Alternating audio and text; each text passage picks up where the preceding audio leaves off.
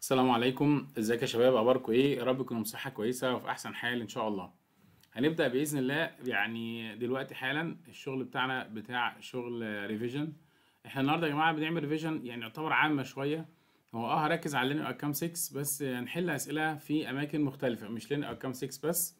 هنشتغل أكتر من learning outcome طب النهارده بقى هنشتغل إيه؟ هنراجع على learning outcome كده 6 سريعا. و learning outcome 6 كان بيبدأ ب magnetic flux density وال magnetic flux density حوالين ثلاث حاجات مختلفة straight wire و circular coil و solenoid المراجعة فيها هتكون سريعة شوية عشان نعرف نوفر وقت أكبر لحل الأسئلة. فأنا هفكرك برضو عشان لو أنت لسه مش فاكر أو حاجة واقعه منك تفتكرها معايا. اولا أي magnet في الدنيا حواليه منطقة اسمها magnetic field أو هنسميها magnetic flux أي magnet حواليه منطقة اسمها magnetic field أو magnetic flux مهما كان شكل ال magnet ده أي شكل معانا ممكن ال magnet يكون حاجة اسمها bar magnet اللي هو ال magnet الطويل ده. ده كده بنسميه bar magnet. ممكن يبقى short magnet ممكن يبقى horseshoe magnet. في أشكال مختلفة من ال magnet. حواليه منطقة اسمها magnetic field magnetic field بيبقى ليه خطوط معينة كده والخطوط دي اللي هي بنسميها magnetic flux line بتعبر على ال direction بتاعت ال magnetic field جاي منين ورايح فين. ودايما هو بره ال magnet جاي من ال north pole ورايح لل south pole. فالاتجاهات كلها هتبقى دايما من ال north لل south طالما outside the magnet لكن لو انت جوه ال magnet جوه ال magnet العكس هتبقى from south to north. دي حاجة أساسية بتاعتنا. وقلنا إن عدد الخطوط دي هنسميها phi يبقى ال phi دي لما نتعامل معاها نتعامل معاها ك number of magnetic flux line. خلي بالكم يا جماعة هتبقى عبارة عن إيه؟ قلنا number of magnetic flux إيه flux line. ده عدد والعدد ده هيتقاس ب unit اسمها ويبر ما تنساش number of magnetic magnetic flux. خلاص ده عدد. وده ال unit بتاعته يا شباب هتكون حاجة اسمها ويبر. ده الجزء الأولاني من الشغل بتاعنا. طيب لو أنا عايز أعرف كثافة مكان أو زحمة قد إيه magnetic flux density بنستخدم حاجة اسمها B يبقى ال B magnetic flux density هو عبارة عن phi over area phi يعني number of magnetic flux over unit of area وده القانون الأساسي بتاع الإيه؟ ال magnetic flux line. وال unit بتاعته هتبقى عبارة عن تسلا أو ينفع نسميها weber divided meter square عشان اللي فوق ده ويبر واللي تحت meter square دي كانت حتة كده إيه في أول line ارقام 6 لازم نفتكرها سريعا. طب magnetic flux density ممكن نعبر عنها بثلاث حاجات زي ما اتفقنا. ممكن تبقى في straight wire و circular loop وممكن تبقى solenoid سريعا كده عشان ما نضيعش وقت كبير لأن الورقة دي ملخصة كل اللي إحنا عايزين نقوله. اولا لازم تعرف إيه في ال magnetic flux كل حالة لازم تعرف ثلاث حاجات. أول حاجة تعرف شكل ال magnetic flux قد إيه شكله عامل إزاي. وتعرف كمان إزاي تحسب ال value بتاعته. وبعد ما تعرف ال value تعرف ال direction بتاعت ال magnetic flux انت محتاج direction محتاج value ومحتاج كمان تعرف هو إيه هو شكله عامل إزاي.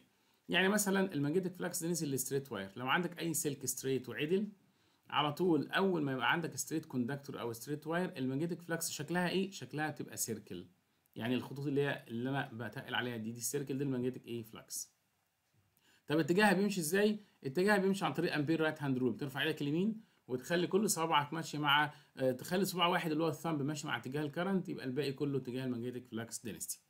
طب غير الاتجاه بيهمني حاجة كمان مهمة جدا بيسميها إيه يا شباب؟ بيسموها ال بيسموها ال value ال value بتاعت ال magnetic flux density. ال value بتاع ال magnetic flux density اسمه mu I over 2 pi d mu I over 2 إيه يا شباب؟ over 2 pi d طيب آه دي هنا اللي هي ال distance. ال distance من مين لفين يا شباب؟ ال distance من النقطة اللي بتقيس عندها لحد ال center بتاع ال wire. لو ال wire ده thick wire وسلك تخين وجاب لك ال radius بتاعته هتجيب من أول ال center. اللي هي المسافة دي يا شباب لكم عليها بالأزرق. الخط ده هي دي ال distance. point of measurement أشوف أنا بقيس فين؟ لحد ال center بتاعت ال wire أقدر أطلع ال distance عاملة إزاي. كده ال magnetic flux density أساسا بتاع ال straight wire هيكون هو القانون اللي متلون تحت ده mu I over 2 pi d طب مين ال mu؟ ده رقم ثابت ما تقلقش منه هيديهولك لو انت محتاجه. وهو دايما في ال space أو في ال air بيبقى 4 pi multiply 10 power negative 7 لو ال medium اتغيرت الرقم ده هيزيد. يعني الرقم ده بيزيد لو ال medium اتغيرت. أقل رقم هو اللي موجود في في ال air أو في ال space طيب لو لو غيرنا غيرنا الشكل بدل ما هو straight wire خليناه على هيئه circle لو هو على هيئه circular coil هيتكون برضه حواليه magnetic flux magnetic flux يبقى شبه إيه؟ خطوط ال magnetic flux كلها على بعضها في ال circular coil بتشبه حاجة اسمها short magnet يعني هنا يبقى شبه ال short magnet كأنك عندك magnet صغير كده بتتعامل معاه. آه، لكن في لكن لكن إحنا مش بنحسب كل ال magnetic flux بنحسب ال magnetic flux عند نقطة واحدة بس عند ال center يبقى في حالة ال circular coil we calculate the magnetic flux density at the center of the circular coil عند ال center بس. ما عنديش إمكانية ولا قوانين أقدر أحسب بيها ال magnetic flux density في أي نقطة ثانية ما أقدرش أحسب هنا ولا هنا ولا هنا لازم أحسبها عند center بس طالما حالة circle أو circular coil طيب عشان كده القانون هيكون فيه radius طالما في circle يبقى لازم هشتغل بال radius القانون هيكون لنا هيبقى شغال شغال عامل إزاي؟ هيبقى mu N I over 2 r المشكلة بقى مش في ال value ولا القانون المشكلة دايما في ال direction بص على ال direction وركز كده معايا. بتخلي صوابعك كلها اللي هم أربع صوابع مع اتجاه ال current بإيدك اليمين طبعا صوابعك كلها مع اتجاه ال current. فتلاقي صوابعك لو نازلة كده هتلاقي ال thumb داخل ناحيتك جاي ناحيتك بيسميه outward يعني طالع من بره. يبقى ال circular coil لو بيلف كده لو بيلف في اتجاه عكس الساعة anticlockwise هيبقى ال magnetic flux density عبارة عن outward outward يعني جاي من الورقة لعينك لناحية عينك. طيب لو كان العكس آه لو كان اتجاه العكس خلاص يبقى ال current برضه هيكون لو ال current العكس يبقى ال magnetic flux density عند ال center هتكون العكس. وإحنا بنتعامل بس عند ال center خلي بالكم. طيب في بعض الحالات الحالات النادرة احتاجنا ال N وما لقيناش ال N في السؤال. مين ال N دي بقى؟ number of turns هي عدد اللفات اللي موجودة في السلك. طيب لو العدد اللفات دي مش موجودة احتمال نحتاجها آه لو احت... لو احتمال مش موجودة ممكن تكون موجودة بطريقة تانية. بجيب length of the wire طول السلك كله قبل ما يتلف divided 2 pi r يبقى length of the wire divided 2 pi r هيطلع لي ال number of turns عدد اللفات بتاعه الايه بتاعه ال circular coil ده وده منطقي. انت بتجيب السلك كله على بعضه وتقسمه على اللفة الواحدة. طول اللفة الواحدة نسميه circumference of circle اللي هو 2 pi r فانت كده لما تعمل التقسيمة دي بتطلع ال number of turns لو هي مش موجودة في سؤال أو احتجتها بطريقة ما. طيب آه، solenoid أخبار ال solenoid إيه؟ ال solenoid أمره سهل برضه. هو عبارة عن circular coil بس المسافات اللي بينهم زادت. لما المسافات بينهم يعني بدل ما هم لازقين في بعض أسلاك لازقة في بعض لأ جبنا بقى الأسلاك بعدناها عند بعض بقت عاملة زي زي ال spring أو زي أسلاك التليفون الأرضي كده. لا أسلاك التليفون الأرضي دايما أسلاك لافة حوالين نفسها. ده اسمه solenoid في ال solenoid مطلوب من حضرتك تعرف برضو ال magnetic flux density فين؟ في نقطة واحدة بس. At its axis عند الخط اللي في النص ده اللي هو الخط اللي بيوصل بين كل ال centers ده اسمه ال axis بنحسب magnetic flux density at إيه؟ At axis بس طب ال magnetic flux density عشان يتحسب عند ال axis لازم أعرف إيه؟ أعرف ال direction وعايز أعرف قيمتها وشكلها. شكل الخطوط كلها على بعضها بتشبه ال bar magnet ال magnet الطويل. يعني كأنك شغال مع bar magnet. في بعض الأسئلة على فكرة بيهتموا بالشكل مع إنها حاجة تافهة يعني. يبقى اللو ال ال solenoid يشبه ال long magnet أو ال bar magnet. ال circular coil ال magnetic flux density تشبه ال short magnet يعني كأنها magnet صغير. طيب وبعدين؟ عايز أحسب magnetic flux density بنستخدمها القانون بتاع μ N I over L. فاكرين قلنا كلمة كده آه، تلخصوا كلمة منيل.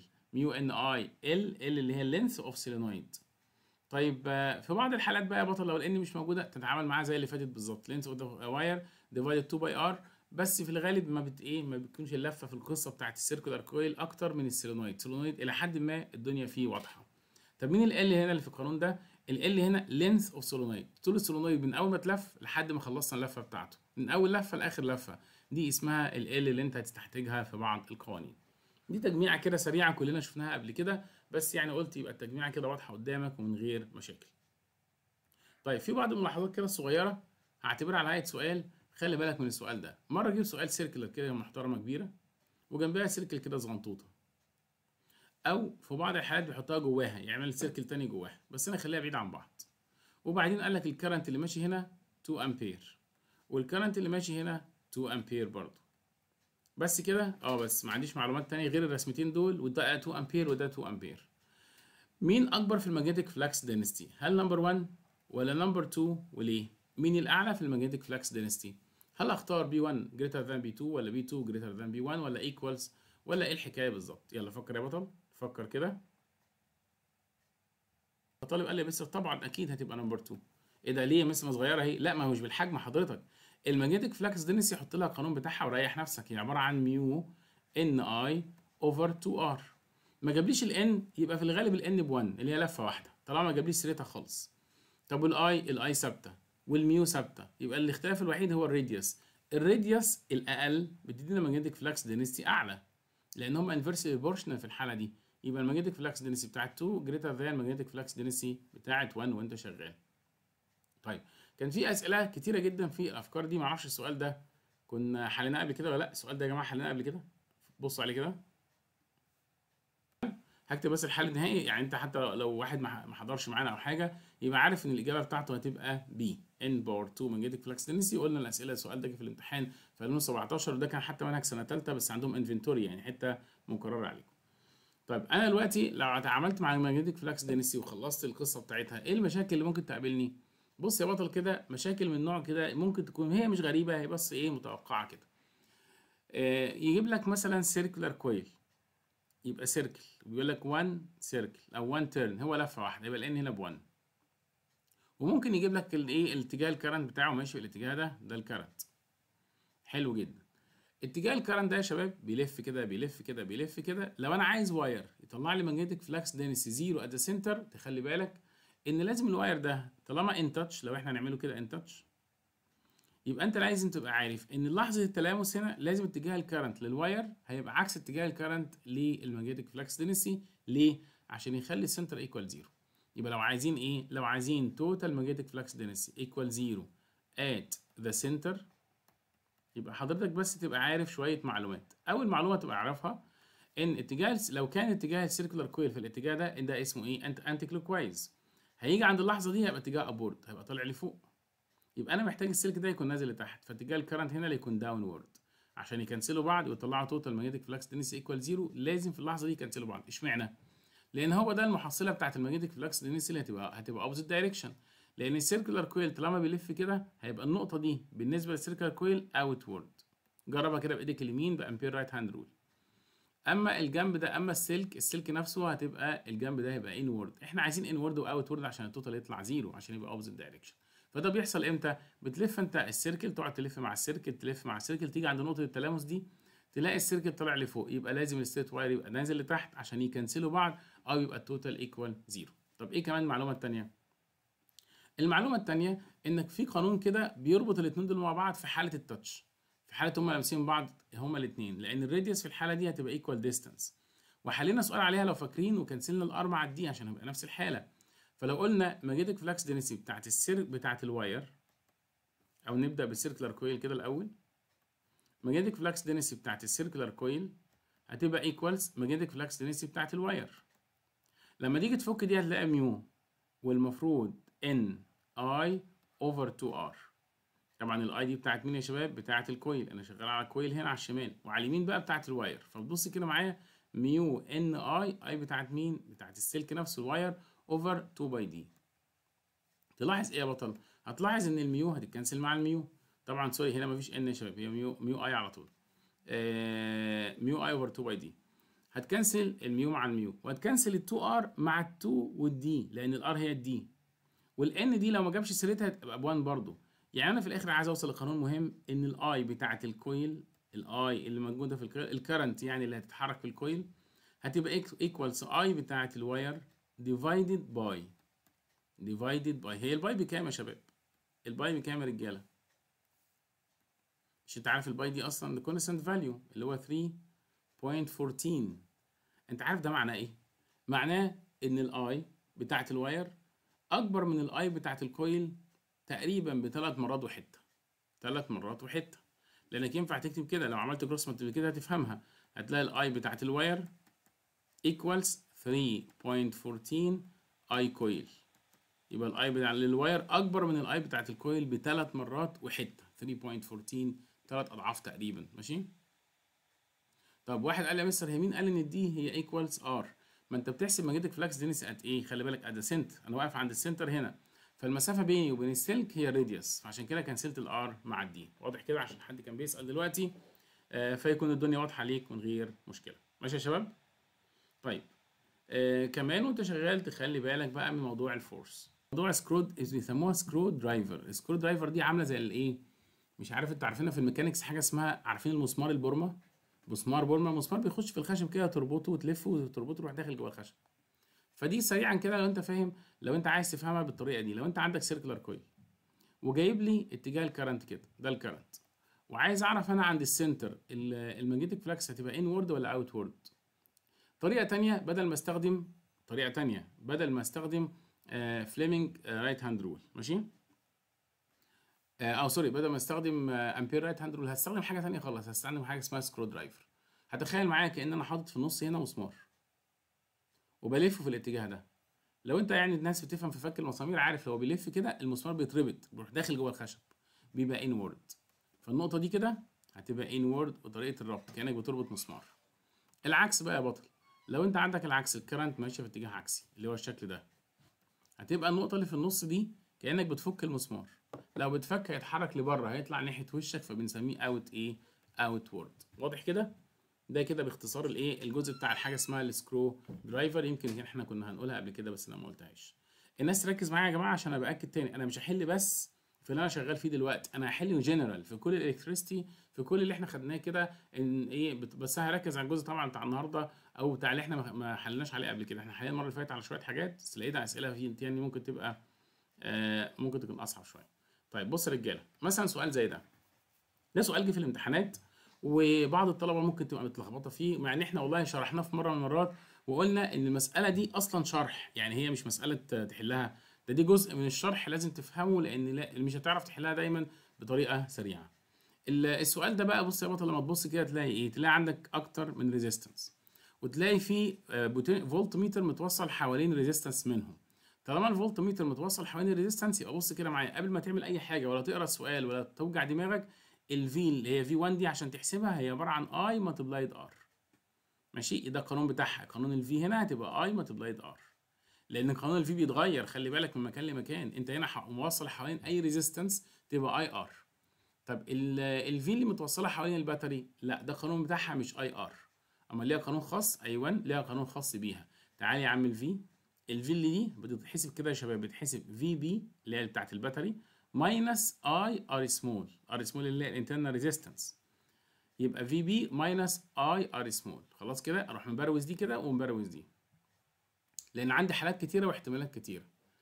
طيب ال current اللي هنا أحسبها إزاي؟ هي كمان ليها قانون؟ آه ليها قانون. ال current ده هو الخارج من ال battery طب عرفت إزاي؟ ما هو ال battery يا جماعة بيطلع كهرباء من هنا بس. كأن الكهرباء مش بتتقسم خلي بالك لأن الفولت ميتر المفروض ما بيقسمش ال current ال current أنت عندك هي دايرة واحدة بس هو مصعبها عليك في الرسمة. يعني الرسمة دي كان المفروض بيرسمها إزاي؟ لو هو يعني راجل طيب كان رسم السؤال كده كان عمل battery مش هما واحدة اتنين مش هتفرق طبعا معانا. وبعدين يحط لك resistance كده في أي حتة على جنب ويحط لك هنا resistance تاني اسمها ريوستات ويحط لك اميتر لو هو عايز يعني يرسم رسمة سهلة المنطق كده وال- والفهم وبعدين يروح موصل حوالين ال resistance دي فولت ميتر ويسميها V 1 ويوصل حوالين ال battery دي فولت سواء فوق أو تحت مش تفرق ويسميها V كده شكلها أريح شوية من اللي فوق. مع ان هي هي على فكرة دي هي دي بالظبط. بس دي شكلها أريح أريح على الطلبة تقدر تفهمها بسهولة.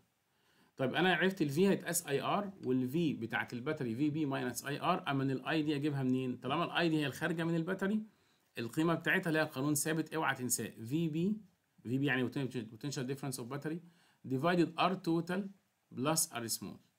R total هي r equivalent لكل الدايرة. وزود عليها إيه؟ ال internal resistance بتاعت ال- ال circuit خلاص يبقى عندنا ثلاث قوانين في الحتة الصغيرة دي المفروض هتعامل معاهم. أنا أول حاجة هفكر فيها مين؟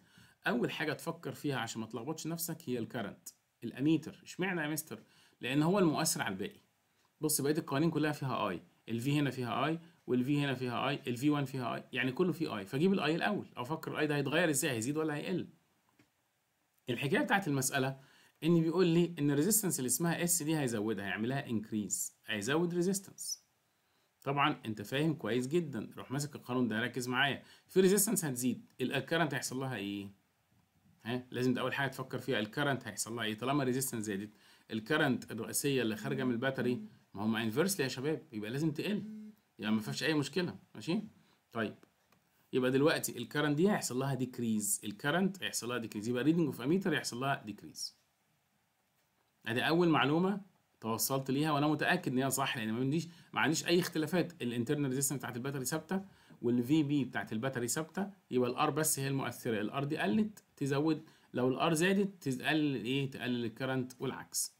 طيب يبقى ال current هتقل. فين ال current هنا؟ ال current يبقى هختار حاجة فيها decrease طب هو ابن الذين جايب لي 3 decrease يبقى واحدة من ثلاثة هتكون صح. هستبعد ده خلاص. هستبعد آخر اختيار. وبعدين هبدأ بمين؟ هبدأ في الباقيين. ابدأ بالسهل وريح نفسك. ابدأ بال V 1 ال V 1 current multiplied R طب ما ال current دي برضه هي نفس ال current الرئيسية. وال current قلت يبقى ال V 1 هتقل. لأن ال R دي ثابتة. ال R دي يا جماعة مش مش ال S ال R دي ثابتة ما اتغيرتش. يبقى ال V 1 زي هيحصل لها زي ال I بالظبط. مش ال I قلت يبقى ال V 1 هتقل. فين ال V 1 ال V 1 هيحصل لها decrease فين؟ أهي. يبقى دي دي أو دي. يبقى كده هنستبعد كمان مين؟ هنستبعد الإجابة الثالثه ماشي يا شباب؟ هي الإجابة الثالثه دي طلعت فيها إيه؟ فيها غلطة. كده الإجابة هتنحصر بين A وبين B. ناقص مين بقى يا بطل؟ ناقص نفكر في ال V ال V بقى محيرة شوية. ال V دي محيرة شوية ليه؟ لأن في بعض المسائل بيقول لك consider the internal resistance equal zero. لو اعتبرت إن ال R small equal zero ده يبقى ده كله هيضيع منك. هيتفضل إن ال V ثابت. ساعتها هختار إن ال V constant ده لو قال لي في السؤال وأكد إن ال internal resistance equals zero لأن الطبيعي يكون في internal resistance نقرأ السؤال تاني كويس ونشوف هل في internal resistance ولا لا عشان تاثر معاه في الإجابة. في وسط الكلام قال لك إن ال- ال- ال battery عندها اي ام اف اي ام اف يا جماعة اللي هي VB the internal resistance R يبقى ال internal resistance لها وجود ما هياش zero. يبقى لازم أحطها في الحسابات. طب لما أحطها في الحسابات أعمل إيه؟ بص معايا ببساطة. مش ال I لسه قايل إن هي هتقل الكمية دي كلها هتقل. يبقى الكمية اللي هناك دي لازم تزيد لأن مجموعهم ثابت. تاني يا جماعة ال IR small هتقل يبقى ال V ال V اللي متوصلة حول ال battery هتزيد إيه اللي هيزودها؟ ما هو مجموعهم ثابت. طب أنا عرفت إزاي إن مجموعهم ثابت؟ يا عم رتب ال equation دي لو أنت لسه متلخبط. ممكن أقول إن ال VB عبارة عن إيه؟ هودي انا هناك بال positive عبارة عن V plus IR لو أنت عندك رقمين مجموعهم ثابت. وواحد وشوية منهم قالوا رقم منهم قل يبقى لازم اللي جنبه ده يزيد. لازم اللي غصب عنه لازم يزيد. عشان المجموع يفضل إيه؟ يفضل ثابت ويفضل constant يبقى كده ال V هيحصل لها increase يبقى كده الإجابة الصحيحة إن ال V increase يبقى كده الكل بينحصر أو بيتجمع في letter A يبقى كل الباقي ده عنده غلطات الصح هتبقى إيه السؤال ده يا جماعة ما هوش سؤال سهل قوي خلي بالك. أنا عارف بيوقع طلبه كتير. ليه بقى؟ لأن ممكن يجيب لك نفس المسألة تاني. هي هي. بس يقول لك في وسط الكلام إن no internal resistance لو قال لك no internal resistance يبقى الإجابة دي هتختلف مش تبقى الإجابة صح. ساعتها كنت هختار تاني اختيار. كان هيبقى تاني اخت... آه تاني اختيار. أيوه كنت هختار إيه؟ تاني اختيار ساعتها. هيبقى ال V unchanged لأن ال V ساعتها هتبقى equal VB بس مش هيبقى equal minus حاجة عشان ده كله هيبقى ب zero. يبقى تخلي بالك من الحاجات والملاحظات بتاعت السؤال الصغيرة دي. يا جماعة في حاجات كده معطيات بارقام تبقى سهلة. يعني أنت مثلا لو أنا قلت إيه؟ لو أنا قلت ال 10 ده رقم ثابت هو عبارة عن 7 plus 3 ال 10 ده عبارة عن 7 plus 3 طب لو افترضنا إن ال 3 دي قلت وبقت مثلا 1 وأنا عايز ال 10 دي ما تتغيرش يبقى أنا كده منطقيا ال 7 دي عشان ال equation تطلع مظبوطة لازم لازم تتغير وتزيد تبقى 9 يبقى لو قل الرقم ده ده هيزيد. العلاقة دي اسمها على فكرة decreasing relation. علاقة مم. ماشي يا مستر طب مش إحنا الفولتميتر ده بيقيس ال ال ال ال يعني ال- ال voltage بتاع ال battery اللي هي أساسا ثابتة هي هي تاني برضه لا خالص ده ده لا ده مش بيقيس كده بيقيس ال VB minus ال IR إمتى بقى ال V external أيوه إمتى يقيس ال VB بس؟ لو كان الاي بزيرو أو الار بزيرو. لو الاي بزيرو أو الار بزيرو. ساعتها يقيس القياس المباشر. يعني بص يا جماعة هقول لكم على example برضو للفهم example للفهم. لو أنت عندك battery ركز كده معايا. ومتوصل كده ب resistance وهنا في switch وعملت راح عمل لك الحركة دي. راح موصل لك هنا الفولت ميتر في المكان ده كده. ركز بقى معايا. الفولت ميتر هنا بيقرأ إيه؟ بالمنظر ده بالشكل ده. الفولت ميتر هنا القانون بتاعه هيبقى equals VB وشكرا. إيه ده ليه؟ ليه فين الباقي يا مستر؟ لأن minus ال IR ضاعت. مين اللي ضيعها؟ اللي ضيعها ال open circuit اللي هنا. شايفين open circuit يعني ال current اللي هنا زيرو لأن ال current دي هي ال current الخارجية يعني ال current اللي خارجة من ال battery مفيش حاجة خارجة من ال battery في الحالة دي. فساعتها كل ده ضاع معانا بقى بزيرو فيبقى ال V equal VB في حالة ال open circuit يبقى إمتى بقى ال V equals VB إمتى ال V اللي بتوصلها حوالين ال battery equals نفس القيمة بتاعت ال battery مباشرة. ده ليها حالتين حالتين قلتهم من شوية. لو كان ال internal resistance equal زيرو أو ال current الخارجية اللي هي اللي خارجة من ال battery ال I كانت equals زيرو اللي هي open circuit بنسميها open circuit حاله open circuit تبقى ال VT ار ال VB لكن هو في السؤال هنا لئيم وواضح جدا في السؤال إن هو قال لك لأ ده في internal resistance في السؤال فلازم تحطها في الحسابات بتاعتك. ماشي؟ طب نحل تاني عشان أصلا السؤال ده ممتد يعني في 16 لحد 18 نفس المسألة. فخلي بالك اللي جاي لسه تبعه. نحل طب المسألة كلها نحل 17 و18 بالمرة ونشوف إيه المشكلة اللي فيهم. ده سؤال برضو نفس تكملة يعني نفس الموضوع. فبيقول لك عمل علاقة بين ال current اللي طالع من الاميتر وبين ال V اللي متوصلة بالايه؟ بال... طالما كتب V ما كتبش V 1 يبقى ال V بتاعت مين؟ بتاعت اللي متوصلة حوالين ال battery اللي هي دي يا جماعة. بيعمل علاقة بين الاي وبين الفي الاي اللي هنا والفي اللي هنا. فلها العلاقة بالمنظر ده inversely proportional والله يعني لو حد ذكي شوية طب ما هو ملاحظ أصلا إن هم عكس بعض. يعني ال V لما هتزيد ال current هتقل وهكذا. وده منطقي جدا أساسا يعني. طيب أنا دلوقتي هعمل إيه؟ هو عايز من ال graph ده إيه؟ بيقول لك النقطه دي D هتكون مين؟ نقطة D هتكون مين؟ أنا مش عارف. النقطة دي D هتكون مين؟ فبص كده معايا هتعامل معاه بقوانين أريح حاجة. هو أصلا كل الاكس اكسس هنا ال V أروح كاتب الاتي إن ال V equals VB minus ال IR صح كده؟ مش ده القانون بتاعنا بتاع ال V اللي إحنا اتفقنا عليه؟ ال V اللي عندك في الرسمة هي عبارة عن VB minus IR تمام. طيب عند النقطة دي عند النقطة دي بالذات في حاجة مختلفة؟ أيوه في حاجة مختلفة. في حاجة بزيرو. مين اللي بزيرو بقى؟ ال I بزيرو. يبقى أنا هقول لنفسي كده at D عند ال D بقى بالذات ال I equals زيرو شيل ال I بقى من القانون ده. هيبقى ال V equal VB بس كده. VB اللي هي مين؟ electromotive force of battery يبقى الإجابة هتبقى B خلاص؟ يبقى اجابه سهلة إيه ما فيهاش مشكلة. عند حد المفروض. خلاص؟ بس إحنا جرت العادة في معظم مناهج حتى ثانوية عامة أو STEM إن ال graph كان ما بيجيش كده كان graph بيجي مقلوب. يعني كان دايما ال graph يجي لك إزاي؟ يجيب لك I هنا وال V هنا ويرسم لك نفس ال graph ويسألك على النقطة اللي فوق دي مين. فأنت تبقى متخيل أعلى فولت أعلى فولت عندك هو الفولت بتاع ال battery. الفولت بتاع المصدر هو أعلى فولت يا شباب. ماشي؟ آه طيب واحد يقول لي يا مستر طب والسي؟ لا السي هنا ده مجرد قيمة current لما ال V تكون بزيرو. قيمة current لما ال V بزيرو طب ما تيجي نجربها. بالمرة بقى اللي هو سأل على ال C قال لك طب يلا هات لي يا مستر ال C. بص يا بطل خش عند ال C. انت بتتعامل مع مين هنا المرة دي؟ بتتعامل مع current آه بس عنده حالة خاصة لما ال V بتكون بزيرو خلاص ما تشتغل بنفس القانون ده وريح نفسك. ما هو نفس القانون ده هيديك نفس الحالة. هقول كده انت عندك ال IR equals بص يا جماعة هجيب ال IR مكان الايه مكان ال V هي عبارة عن VB minus ال V صح؟ ال IR equal VB minus ال V طب ال V هنا بزيرو يبقى at point C عند النقطه C أنا عندي ال V بزيرو. لكن ال I طبعا لها قيمة. يبقى هنشيل ده من القانون. هيبقى عندك ال IR equals VB أنا عايز ال I بس. ساعتها ال I يا بطل هتبقى عبارة عن potential difference of battery divided internal resistance. Divided internal resistance. ماشي كده؟ دي من ضمن الأسئلة الشهيرة. خلاص؟ يبقى لو قال لك C عرفنا C قال لك D عرفت D طيب معلش سؤال كمان. ممكن يسألك على الرسمة دي يقول لك طلع لي ال slope بتاع ال graph. slope of graph وأنا باكد تاني إن ال graph ده دايما كان بيجي بالمقلوب. يعني أنا أعتقد اللي حط الامتحان اتلخبط ورسم ال graph غلط. بس لو افترضنا إن هو راسم كده وعايز يطلع ال slope نطلع ال slope مع بعض.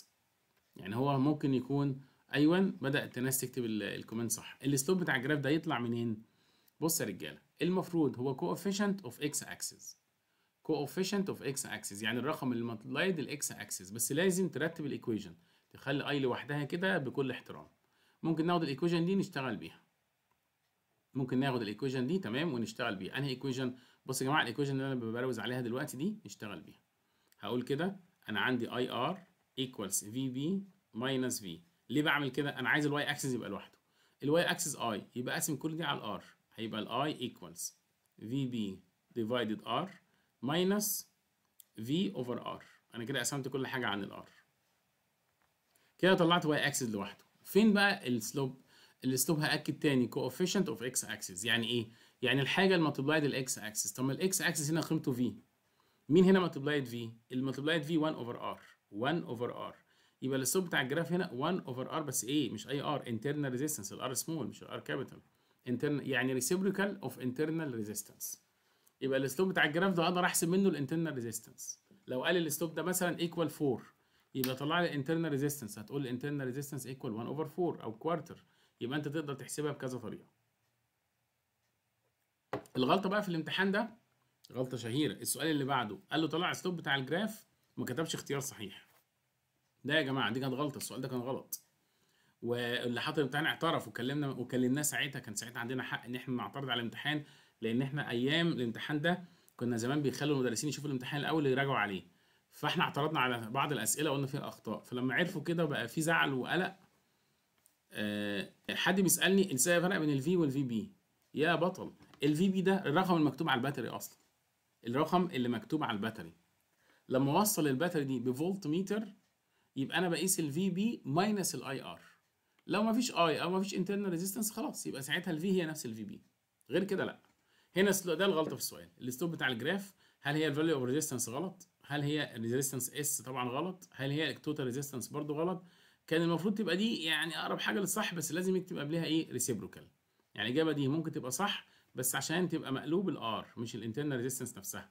فيبقى ريسيبروكال اوف إيه اوف انترنال ريزيستنس دي كانت غلطة في الامتحان. تمام؟ برافو عليك يا مازن. صح كده. حد كان بيجاوبها صح معايا؟ فيكتب هنا ريسيبروكال مفيش مشاكل فالصح هيكون 1 اوفر ار والأخطاء دي واردة في أي حتة في الدنيا ماشي؟ سؤال زي ده من الأسئلة برضو اللي جت في الامتحان وبرضه عايزين نت- نتعلمها هي نفس الإيه؟ نفس القصة كده بالظبط دي نفس القصة اللي فاتت يا رب بقى تركز كده معايا ماشي؟ أنا مش هحل السؤال مباشرة أنا عايزك تفهم معايا حاجة لو أنا عندي الباتري الباتري دي كده ماشي؟ أنا برسمها يا جماعة لوحدها مفيش لامب رحت موصلها على طول بفولت ميتر حطيت في النص هنا الفولت ميتر اللي هو ده ده فولت ميتر ها حد يقول لي سيبك من السؤال أنا بتكلم على الرسمة اللي أنا راسمها. الفولت ميتر ده في هنا هتبقى قيمته إيه؟ هل قيمته في بي بس ولا في بي ماينس اي ار في الوضع ده؟ لو جبت باتري لو أنت اشتريت بطارية من من السوبر ماركت ورحت موصلها عندك بفولت ميتر في البيت. هل هيبقى في بي بس ولا لسه فيها حاجة كمان؟ هتبقى في بي اونلي ليه يا مستر؟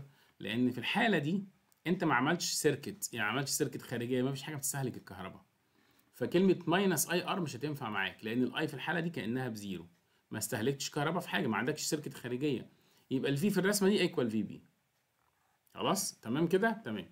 طيب افرض أنا بقى عملت الاتي رحت موصل بقى معاهم آه لامب اللامب طبعا دي منورة ودي منورة. دي بتستهلك ولا ما بتستهلكش؟ بتستهلك طبعا. ومدخلك ماشية فيها كرنت في كرنت طالع هنا من الايه من البوزيتيف عمال يلف يروح للنيجاتيف في الرسمة بقى اللي فوق لو أنا هعمل فاصل كده عشان ما نتلخبطش الرسمة اللي فوق تعالي يا في حضرتك بقى الفي قيمتك دلوقتي بالمنظر ده عبارة عن في بي بس ولا في حاجة عمالة تخرج من عندك؟ أيوه ده متبهدلة ده متشحورة خالص. الفي هنا هتبقى في ماينس اي ار ماينس اي ار إيه ده؟ ليه ماينس اي ار عشان في كارنت وفي انترنال ريزيستنس انترنال ريزيستنس هو الطبيعي يكون أي باتري فيها انترنال ريزيستنس إلا لو جاب العكس لو قال لي ما فيش انترنال ريزيستنس هو في السؤال هنا بيقول لك انتو كونسيدريشن ذا انترنال يعني خلي بالك إن في انترنال ريزيستنس في الباتري يبقى الفي اللي هنا هتبقى عبارة عن في بي ماينس اي ار الله يعني هو قانون ثابت؟ أيوه قانون ثابت. بس لو عندك الكرنت بزيرو يرجع الفي لمين؟ للفي بي تاني. الكرنت موجود خلاص يبقى طلعها بإيه بالشكل ده؟ يبقى الرسمة اللي تحت كأنها هي الرسمة اللي فوق. بس اللي تحت اللي تحت عشان الاي ايكوال زيرو مفيش كرنت عندي جوه مفيش حاجة بتستهلك الكهرباء مفيش كرنت خارجية. يبقى مفيش كرنت في الحالة دي فكنسلنا الجزء بتاع الاي ار سمول طب بص بقى السؤال ده عشان سؤال ذكي. بيقول لك ان ذا الكتريك سيركت في الرسمة دي ده فولت ميتر 8 فولت بيقول لك الفولت ميتر هو بيقرأ دلوقتي راح قرأ إيه؟ قرأ 8 فولت حاضر. ده مين بقى ال 8 فولت ده؟ اللي هو الفي يبقى الفي ده دلوقتي في اللحظة دي 8 فولت مفيش مشاكل. طيب بيقول لك حط في اعتبارك إن في بيبقى ط- تمام. يبقى قانون كامل. What would the reading of voltmeter when the filament is filament اللي هو الخيط بتاع ال- اللامب يعني حصل له إيه؟ حصل له بروك داون اتقطعت. لو السلك بتاع لو أي حتة في مش لازم لمبه يعني أي حتة في السلك تتقطع هيؤدي إلى إيه؟ هيؤدي إن القيمة دي كلها اللي أنا كنت بعم- بعملها ماينس اتشالت. يعني الفي بدل ما كانت 8 هتبقى أكتر ولا أقل يا شباب؟ أيوه هتبقى أكتر من 8 يبقى الإجابة بتاعتك more than 8 هتزيد أيوه ما هو الفي بي ده أعلى رقم. يا هو بيقول لك إن الفي كانت في الأول كانت في الأول 8 وأنا بحسبها بال- بالقانون كامل. لما نشيل الاي ار من الاي ار دي مش كانت عمالة تاكل من الرقم بتحسب منه. يعني سي مثلا ده كان 10 ماينس 2 هيطلع 8 بعد شوية هنشيل ال 2 شيل ال 2 دي من هنا خالص. هيبقى وطبعا الفي باتري دي ثابتة ال 10 دي ثابتة. فغصب عنه الفي اللي أنت بتحسبها بدل ما كانت 8 تروح زايدة وتبقى 10 هيحصل انكريزز للباتري. وكانها وكأنها يا جماعة الفولت بقت مرسومة كده بالرسمة دي. حاول تفهمها كده ممكن تبقى سهلة عليك. الاي والفي هما decreasing relation. في اللحظة نقطع فيها السلك الاي هيكون بزيرو. عارفين الاي تبقى بزيرو يعني إيه؟ يعني أنت واقف عند النقطة دي حضرتك. واقف عند النقطة دي يعني الاي بزيرو. ساعتها الفي هنا هتبقى قيمتها مين؟ هتبقى قيمة ال VB يعني قيمة ال potential difference of battery ماشي؟ السؤال ده بعدين هنشوف أنتوا عايزين إيه. لو السؤال ده اتكرر تاني هو هو. من غير أي تغيير إلا حتة صغيرة. قال لك إن ال internal resistance zero لو قال لك في السؤال if the internal resistance equal zero هل الإجابة بتاعت السؤال هتبقى هي هي ولا في اختلاف؟ عايزك تفكر معايا. لو قال لك مفيش internal resistance اعتبر اعتبر ال internal resistance zero هل هتختار إيه ساعتها؟ هنختار نفس الإجابة ولا اختيار مختلف؟ أيوه في ناس بدأت تجاوب معايا صح برافو عليكم. ساعتها الإجابة هتبقى 8 فولت على طول مش هتتغير. ليه يا مستر؟ لأن لو قال لك إن مفيش internal resistance يبقى برضو القانون هيقول لمين؟ إن ال V equal VB لمبة بقى تتحرق ما تتحرقش. أنا ماليش دعوة. ال V هتفضل equal VB على طول لأن مفيش internal resistance بافتراض. طبعا ده افتراض لو جه في السؤال بالوضع ده. يبقى لو قال لك مفيش internal resistance قول له شكرا يا حاج يبقى أنا كده ما عنديش إيه؟ ما عنديش في الحل ده أي مشكلة وإن يبقى ال V هتفضل ثابتة equal VB طول الوقت. خلاص؟ يا رب تكون واضحه الحتة دي ما يكونش عندي مشكلة عند حد. طيب آه، الشكل ده يا شباب. الشكل ده من الأشكال المهمة جدا في الجزء بتاع ال electric field بتاع ال circular coil وال straight wire والقصة دي. وده برضه زي ما أنتم شايفين جاي في الامتحان. بص هنا هو عامل حاجة جديدة أو مش جديدة حاجة يعني إيه زيادة. عامل لك اتجاه لل earth يعني في magnetic field للأرض. اتجاهه طالع لفوق. برضه حاجة حاجة ما تخضش يعني في magnetic field طالع لفوق. خلي بالك مش الأرض مش طالعة لفوق في الحتة دي بس ده طالعه لفوق هنا وهنا وهنا وهنا. ممكن تقعد تعمل خطوط parallel كده زي ما انت عايز. هو مغطية المنطقة كلها. مغطية الورقة كلها إيه في الاتجاه ده. ماشي؟ طيب. بيقول لك the vertical straight wire. Vertical straight wire carry the upward place normal to the إيه the earth's magnetic field. مش عارف إيه. في الآخر يعني في wire فين ال wire دي؟ اللي هو كاتب لك عليها اسمها. ده ال wire طب فيها magnetic field أيوه فيها فيها current. طب إيه اتجاه ال current اتجاه ال current هو مش محتاج يقول له مش محتاج يقول لك هو حاطط لك نقطة. إحنا اتفقنا يا جماعة لما يقول لك نقطة كده ويكتب لك wire يبقى لازم ال current في الاتجاه ده هيبقى إيه يا شباب؟ هيبقى out يعني جاي ناحية عينك. ماشي؟ يبقى كده out out طب افرض عايز يقول لك inward إن الكهرباء داخلة لجوه يعمل لك إيه؟ يعمل لك X ويحاول يلفها لك كده لفة محترمة ويقول لك ده بقى إيه؟ ده كهرباء. ده سلك فيه كهرباء كاني ببص على السلك من فوق. ده اسمه إيه يا شباب؟ اسمه out inward يبقى ال X تبقى inward وال dot هتبقى outward دي هتبقى كده إيه؟ هتبقى inward طيب. طب ده يفرق معايا في حاجة؟ أيوه طبعا ما السلكة دي يا جماعة بتعمل magnetic field حواليها. ال magnetic field حواليها ماشية إزاي؟ في الحالة دي عشان دي المفروض outward هتبقى with ولا anti ركز كده بقى معايا. هتلاقي الاتجاه ماشي إزاي؟ ماشي. أيوه ماشي بالاتجاه ده. anti-clockwise طب أنا لو بتلخبط بايديا اليمين ولا ايديا الشمال فكر في موضوع screw driver انت عندك مسمار وكأن المسمار عايز تطلعه لبره عايز تفكه هتلف في الاتجاه ده. لو انت يعني تفهم في المسامير ما تفهمش مسامير ارجع لايه لقصة Ampere right hand rule وريح نفسك منها. طب خلي بالك الاتجاهات هنا ماشية إزاي؟ الاتجاه عند أي نقطة بيبقى tangent يعني عند النقطة دي اتجاه ال magnetic field بيبقى كده يبقى tangent يبقى اتجاهه كده. عند النقطة دي هيبقى tangent اتجاهه كده. بس لازم الاتجاه يكون مع اتجاه الدوران. عند النقطة دي هيبقى اتجاهه كده. طب آخر نقطة عند ال O هيبقى اتجاهه كده. هو عايز إيه في الآخر؟ بيقول لك which point uh, expected to be neutral point. فاكرين neutral point عشان النقطه تبقى neutral point يبقى لازم ال total magnetic flux density تبقى ب zero. مش كده وبس إحنا كنا شرحناها كده وأفكرك بيها. ال neutral point كان فيه يعني شوية حاجات تعرفها. أول حاجة neutral point معناها إيه؟ معناها total magnetic flux density equal zero يعني لو نقطه ال magnetic flux density المحصلة كلها يمين وشمال وكله في الآخر equals إيه؟ zero النقطة الثانية لازم تكون في منطقة ال negative zone. في ال negative zone مش في ال positive zone. في منطقة ال negative. طب لازم كمان تبقى nearer to the small current. أقرب في ال current الأقل. فلو عندك نقط زي دي كده في السؤال قلنا اختار النقطة الايه الاقرب لل current طب لو هما equal current. لو equal current يبقى النقطة اللي في النص بالظبط بس بشرط يكون negative إيه negative area كمان في قاعدة بتقول no neutral point if equal and opposite direction. لو عندك ال current عكس بعض في الاتجاه و equal قد بعض بالظبط يعني ال current هنا قد ال current اللي هنا ساعتها مش هتلاقي neutral point في الرسمة. خلاص؟ دي كده القواعد الأساسية بتاعت ال neutral point على حسب القواعد دي هنشوف السؤال ده بقى يتحل إزاي.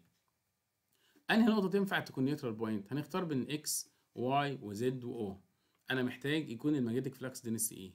opposite لازم يكون opposite direction عكس بعض. فباينة جدا جدا النقطة الوحيدة اللي فيها اتجاه عكس بعض نقطة Y فالإجابة هتبقى Y واحد يقول لي بس بس دي بعيدة عن دي. ما اتفقنا بقى إن الأرض دي مش خط. الأرض دي مغطية المنطقة كلها. فتيجي هنا هتلاقي في اتجاه كده عكس الاتجاه. فده الاحتمال يكون neutral point خلاص يا شباب؟ طيب في سؤال بقى في الحتة دي أهم من ده. إيه ده؟ في أهم من ده؟ آه السؤال ده كده يعتبر سؤال مباشر شوية. في سؤال يقول لك يا بطل إيه؟ مين أعلى magnetic flux density في الأربع نقط دول؟ مين أعلى؟ مين ال maximum magnetic flux density ال B maximum في الثلاث الاربع نقط دول هتكون مين؟ O ولا X ولا Y مين أكبر واحدة؟ تمام. هي طبعا نفس الاتجاه عشان أعمل plus هتبقى at O طب بحسبها إزاي؟ بعمل plus بشوف magnetic flux density هنا كام و magnetic flux density بتاعت الأرض كام وأعملهم plus يبقى هنا اعمل plus هنا منطقة additional هنا عند ال Y منطقة negative هنعمل minus وممكن تبقى ب zero. طيب الحتة بقى المهمة. ال earth مع ال X أو مع ال Z احسبهم إزاي؟ ده في اتجاه كده بقى magnetic flux density كده واتجاه magnetic flux density كده.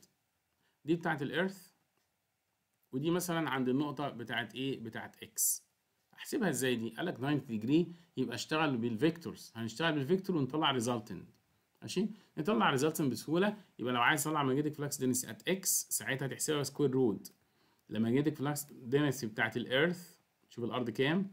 power 2 plus magnetic flux density at X power 2 طبعا قيمة ال magnetic flux density عند X قد Y قد Z قد O كقيمة. ماشي لكن هما مختلفين في الاتجاه. خلاص كده يا شباب؟ يبقى كده نعرف الاحتمالات المختلفة للسؤال ما يبقاش واخد شكل واحد كده وخلاص لأن هو ممكن يقعد يلف ويدور معانا في بعض الأسئلة. ماشي؟ طيب. آه هنتكلم شوية على ال force بعدين نرجع نحل تاني. ماشي نتكلم شوية على ال force ونحل تاني عشان ما ننساش إيه حاجات مهمة. دلوقتي يا بطل إيه؟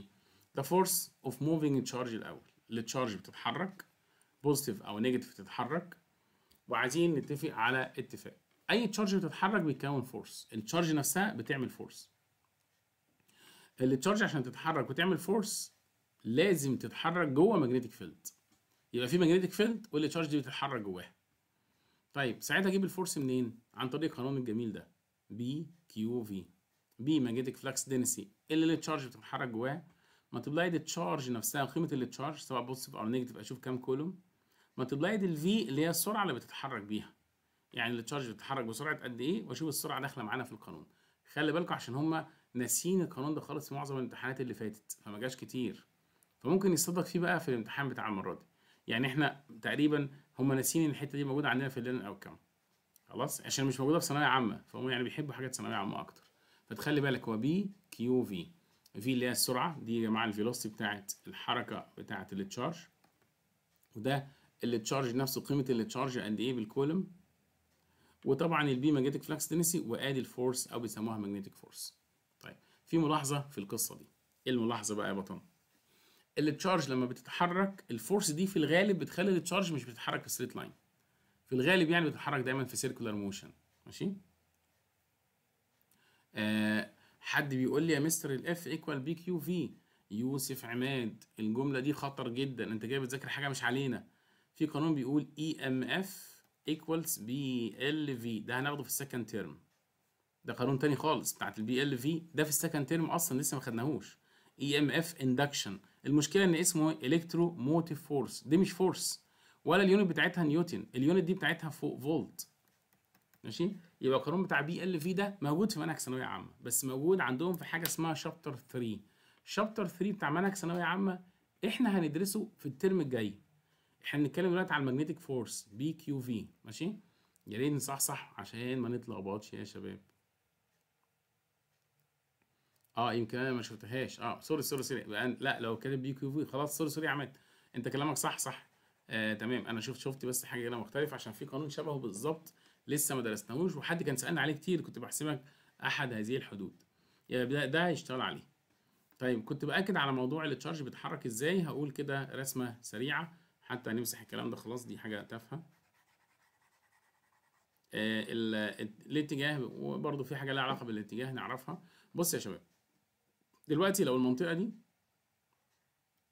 نفترض يعني إن عندي منطقة كده منطقة كده منطقة هنا فيها بوزيتيف ومنطقه هنا فيها negative negative charge و positive charge كده جواهم كده electric field electric field اتجاهها دايما من الايه من ال positive لل negative من ال positive لل negative ده الاتجاه بتاع ال magnetic ده كده electric field دي يا جماعة electric field من ال positive لل negative طيب هم قرروا بقى إيه؟ يحركوا جوه هنا charge إيه نوع ال charge اللي هيتحرك؟ أي حاجة. الكترون خليه negative electron جاي ماشي كده في أمان الله.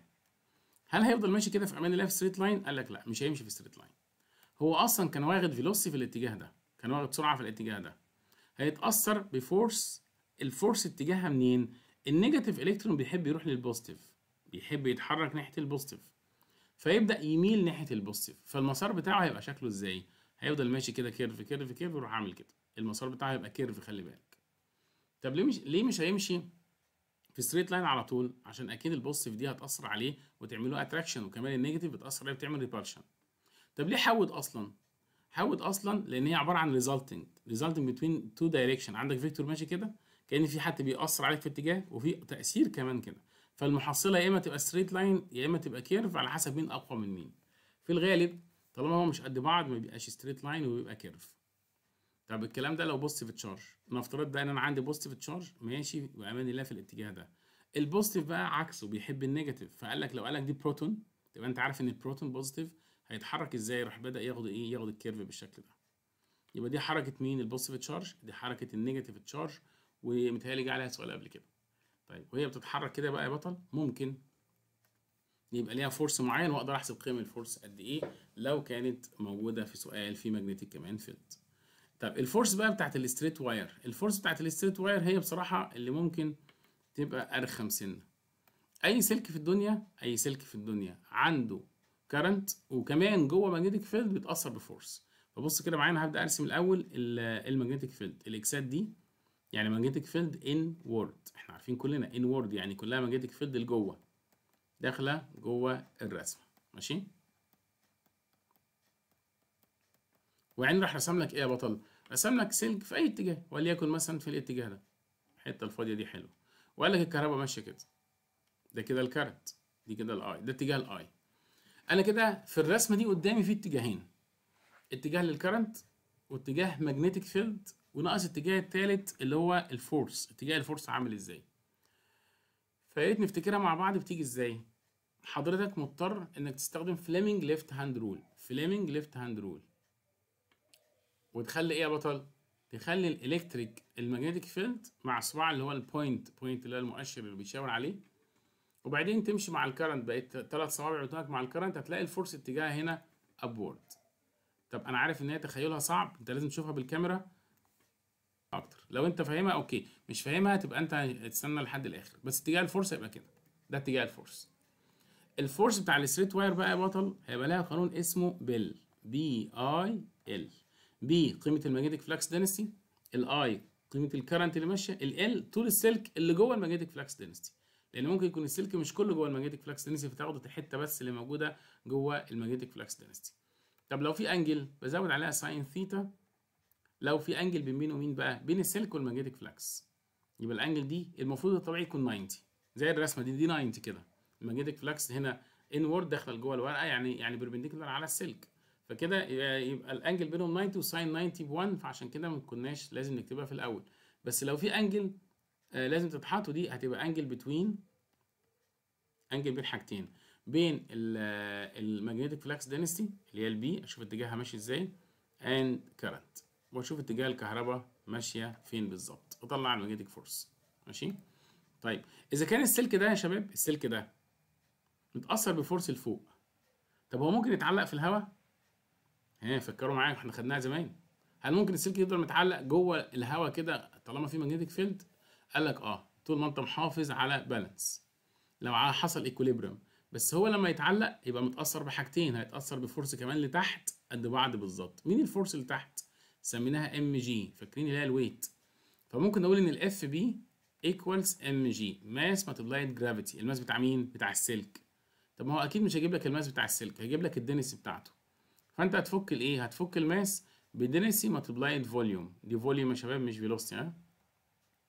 multiplied g وده ال FB أكيد يعني مش هيجيب لك ال volume بتاع السلك. بس السلك ده أنت لو كبرته هيبقى عبارة عن سلندر فال volume بتاع السلندر كنا بنفكه إيه يا شباب area of base اللي هي الحتة دي اللي هي pi r square multiplied height اللي هو طول السلك كله اللي هو ال L فينفع أكتب كده density multiplied area multiplied length multiplied g كل ده ال FB طب حد يقول لي ال FB عبارة عن إيه يا شباب؟ عبارة عن BIL أصلا صح؟ BIL طب ما ده rho A L g أنا كل ده عشان أوصل بس للقانون الأخير. cancel L مع L هتلاقيه في السؤال ما بيجيبلكش ال length بتاع ال pendulum أو ال length بتاع ال wire فساعتها هتتعامل مع القانون النهائي بالشكل ده إن ال B multiplied current equals rho multiplied cross section area أو pi r square multiplied g. وكده يبقى إحنا طيرنا ال length وطول السلك من المسألة. خلاص خلي بالكم عشان ده سؤال غتت يعني وكان رخم ساعتها لما جه فعندنا نتعامل معاه بالشكل ده. يبقى دي ال magnetic إيه ال magnetic force سريعا. طب في magnetic force بين two wires آه طبعا ال two wires بينهم وبين بعض magnetic force وفي ساعات بتبقى equilibrium وال force تبقى equal zero فممكن تلاقي اللي يحصل attraction أو repulsion زي ما هنشوف دلوقتي حالا. يعني ال force بس مش إيه مش مجرد يا شباب إيه مش مجرد ال force هنا سلكة جوه magnetic field لا أي سلكتين جنب بعض بينهم وبعض force برضه.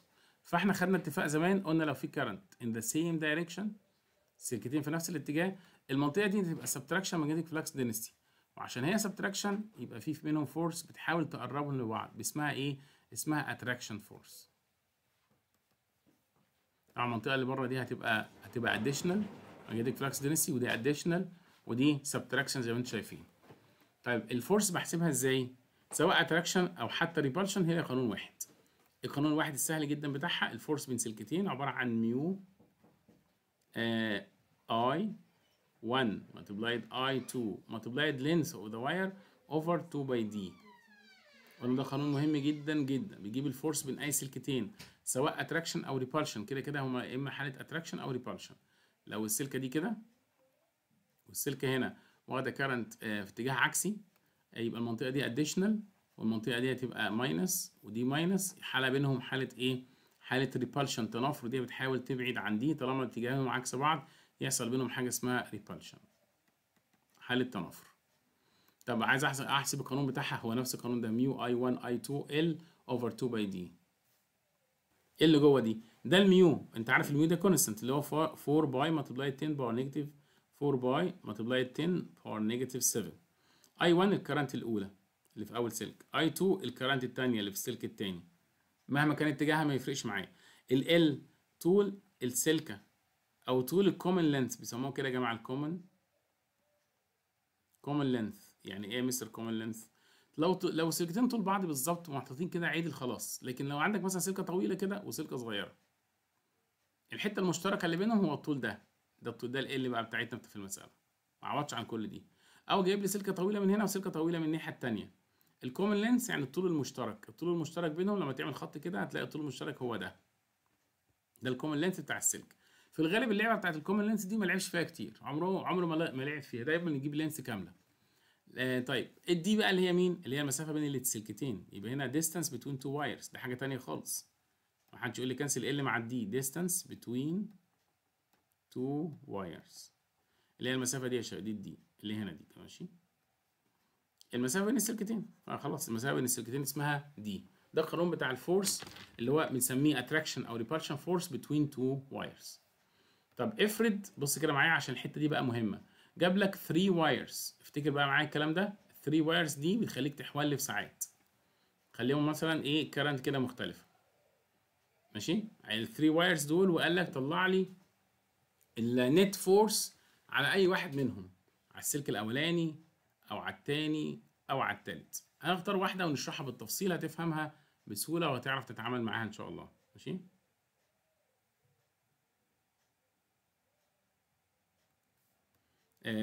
هنا 3 wires وأنا هفترض معايا ال current إيه اتجاهاتهم بالشكل ده. أنا اخترت اتجاهات عشوائية وعايز أعرف آه وطالب بقى إيه؟ طالب ال net force net force at wire أي wire نختار wire 1 مثلا wire 1 أحسبها إزاي دي؟ أجيب ال net force عند wire 1 إزاي؟ بص يا بطل أنت بتتعامل عند wire 1 يبقى أنت هتتعامل الأول مع 1 مع 2 في مرة ومرة ثانية 1 مع 3 خلاص كده؟ بيشوف تأثير 1 على 2 وبعدين تأثير 1 على 3 طب بالراحة كده عشان ما نتلخبطش. 1 مع 2 تعالى يا عم 1 أنتوا attraction ولا repulsion قال لي والله إحنا نفس الاتجاه فيحصل بينا attraction يعني أنا المفروض بحاول أقرب كده. وده كمان بيحاول يقرب كده. ماشي؟ أنا هيهمني ال force دي. ال force دي أسميها F مثلا F 1 F 1 2 1 2 يعني بين 1 و 2 طيب دي بحسبها إزاي؟ عادي بحسب F 1 و 2 بالقانون بتاعها. اللي زي ما اتفقنا كده ميو I 1 I 2 L اللي هو الأطوال كلها بقى نفترض إن هي متساوية divided 2 π d واشوف المسافة اللي بينهم كام على حسب السؤال. خلاص أنا مش عايز أقول أرقام يعني عشان ما أضيعش وقت عليها على الفاضي. كده أنت طلعت ال force بين مين؟ بين 1 و 2 طيب بين 1 و 3 تسأل 1 و 3 أنت يا عم 1 و 3 أنت attraction ولا repulsion إحنا هنا opposite direction دي لتحت ودي لفوق. فبيحصل منها repulsion يعني في force كده بتحاول تبعد هنا؟ بين ده وبين ده تبعد. ال force دي أسميها force بين 1 and 3 فهنا force between 1 and 3 طب أحسب القانون بتاعها إزاي؟ ميو المرة دي I 1 I 3 ماشي؟ L over 2 π d ال d هنا هي المسافة بقى بين 1 لحد 3 فاهمين يا شباب؟ طب وبعدين؟ أنا كده جبت force 1 و2 و force 1 و3 أعمل في الأرقام دي إيه؟ ما انت يا بطل اهو شايف شايف انه opposite direction يبقى ال net force بتاعتك هتعمل الاكبر minus الأقل. أجيب الأكبر minus الأقل. طب ما تيجي نجرب الكلام ده بأرقام. نجربه بأرقام. يعني هفترض معاك إن أنت عندك الايه أنت عندك إن ده مثلا 2 امبير وده 3 امبير وده 4 امبير خليها كده سهلة. وهخلي المسافات اللي هنا مثلا آه، مثلا آه، آه، و- 10 متر خليها 10 متر ودي خليها إيه آه، 12 متر أنا بقول أي أرقام يا جماعة للتسهيل بس. دي كده المسافة دي يا شباب والمسافة دي. يبقى عشان تعوض بقى عن ال F 1 and 2 تعوض عنها بالأرقام دي. لو حد معاه calculator برضه يسهل لنا شوية. الميو يعني 4 π multiply 10 power negative 7 I 1 يعني اللي هي multiply 2 I 2 اللي هي 3 ال length بتاعت ال wire هفترض إن ال length كلها 1 متر ماشي؟ of length 1 متر عشان تبقى سهلة في الحسابات شوية. over 2 pi d 2 pi d d هنا المسافة بين مين ومين؟ أنا بحسب 1 و 2 بين 1 و 2 يعني 10 multiply 10 فاهمين؟ هشوف الرقم ده هيطلع كام. طبعا تسلا آه سوري نيوتن. عشان ده بتتكلم على force force يبقى نيوتن ما تنساش ال measuring unit يا شباب. حد قال لي طلعت 1.2 multiply 10 power negative 7 okay هكتبها بس مش عارف هو قصده على الرقم ده ولا ال final answer 1.2 multiply 10 power negative 7 طب نفس الكلام هنكرره تاني. برضه هقول لك 4 pi multiply 10 power negative 7 multiply current 1 و current 3 current 1 ب 2 و current 3 ب 4 وال length ب 1 over 2 pi d d هي المسافة كلها بقى خلي بالك مش هتبقى 10 لا انت عندك من 1 لحد 3 ف 10 و12 هتبقى multiply 20 اعتقد 22 صح؟ 22 طبعا أنا بهبد أي أرقام خلي بالكم فطبعا ممكن رقم يطلع غريب شوية مش عارف إيه. آه F بقى من حد قال 7.2 multiply 7.3 خليها 7.3 multiply 10 power على حسب بقى 10 power negative 8 okay 10 power negative 8 negative 8 نيوتن طبعا هي force ضعيفة ممكن ما تحركش السلك أصلا بس يعني إيه؟ موجودة يعني. أدي ال force وطالما حضرتك شايف قدام عينك إن هم opposite direction يبقى أنا هعمل إيه في الاثنين دول؟ هعمل subtraction فأقول إن ال F net أجيب ال force الأكبر minus ال force الأقل. ال force الأكبر على فكرة هي F 1 2 يبقى F 1 2 minus ال F 1 3 الرقم ده عشان 10 power negative 7 شكله أكبر من 10 power negative 8 يعني. خلاص يا شباب؟ وخلاص واطلع ال final answer واكتبه قدامي ويبقى كده خلصت الايه خلصت السؤال لو عندي أكتر من wires أكتر من 2 wires ماشي؟ طيب هو ممكن ينفع ماشي؟ ينفع آه، أدخل 2 و 3 معايا؟ يا عم انت مالك ب 2 و 3 هو بيقول لك طلع لي net force عند مين؟ عند 1 يبقى أنت خليك هدفك دايما عند 1 آه، علاقة 1 مع مع 2 و1 مع 3 أنا عارف إن 2 و 3 داخلة معانا في اللعبة بس لو سمحت ما تدخلهاش. هتلخبط لك الدنيا وهطلع لك في الآخر إجابة غلط. طيب في كمان معلومة تانية خلي بالك بقى منها المعلومة اللي جاية دي. وأنت شغال ممكن يقول لك أنا عايز ال object ده ما يتحركش. أنا عايز ما يتحركش يعني إيه؟ يعني ال net force بتاعته تبقى ب zero. ساعتها هتخلي ال F بين 1 و 2 قد ال F بين 1 و 3 وهيبقى في حاجة ناقصة بقى يبقى في current منهم ناقص فتقدر تتعامل معاه وتطلع ال current الناقص. خلاص؟ فدي برضو نقطة. حاجة كمان آخر حاجة بقى يا جماعة. لو سلكة اتحطت مكان ال neutral point بين two wires يعني مثلا لو رجعنا الرسمه دي هنفترض إن ال neutral point موجودة في النص. رحت أنا حاطط سلك في النص بالظبط. هيتأثر بأي حاجة؟ لا طبعا ال force بتاعته ب zero. لأن ال force بتتاثر بالإيه؟ F B I أصلها يعني أو F B I L B magnetic flux density وال I current وال L length لو ال B ب zero يبقى مفيش force. يبقى لو السلكة اتحطت جوه في منطقة ال neutral point معناها no في الحالة دي يا جماعة no force مفيش force بتأثر عليها في الحالة دي. ماشي؟ طيب آه، نحل كده شوية كمان على الكلام ده وبعدين وبعدين نكمل الايه نكمل المسيرة. شوية أسئلة. أنا لما بخش على السؤال أنت وحظك ممكن يطلع السؤال ده في اللي إحنا بنشرحه حاجة بره مش مشكلة يعني. بيقول لك في السؤال ده برضه من اسئله الامتحانات neutral point lies exactly at the midpoint mid point ده في النص بالظبط between the two parallel wire. طبعا ممكن ده بس لازم ال parallel wire دول يكونوا إيه؟ لازم يكونوا equal ولازم يكونوا same direction. تقريبا ممكن يكون حليت كده السؤال. يبقى إمتى تكون ال neutral point في النص بالظبط بين سلكتين parallel لازم يكونوا equal ويكونوا كمان same direction current. يبقى one direction و equal فين الإجابة؟ أنا مش لاقيها. One di- آه A تقريبا صح كده. هتبقى ال letter A. هي الوحيدة اللي فيها كده. اللي هي الحلقة دي بقى يا شباب الحاله دي. لا يكونوا parallel ويكونوا equal current في النص بالظبط يبقى إيه neutral point بس لازم يكون قد بعض في ال current كمان خلي بالك.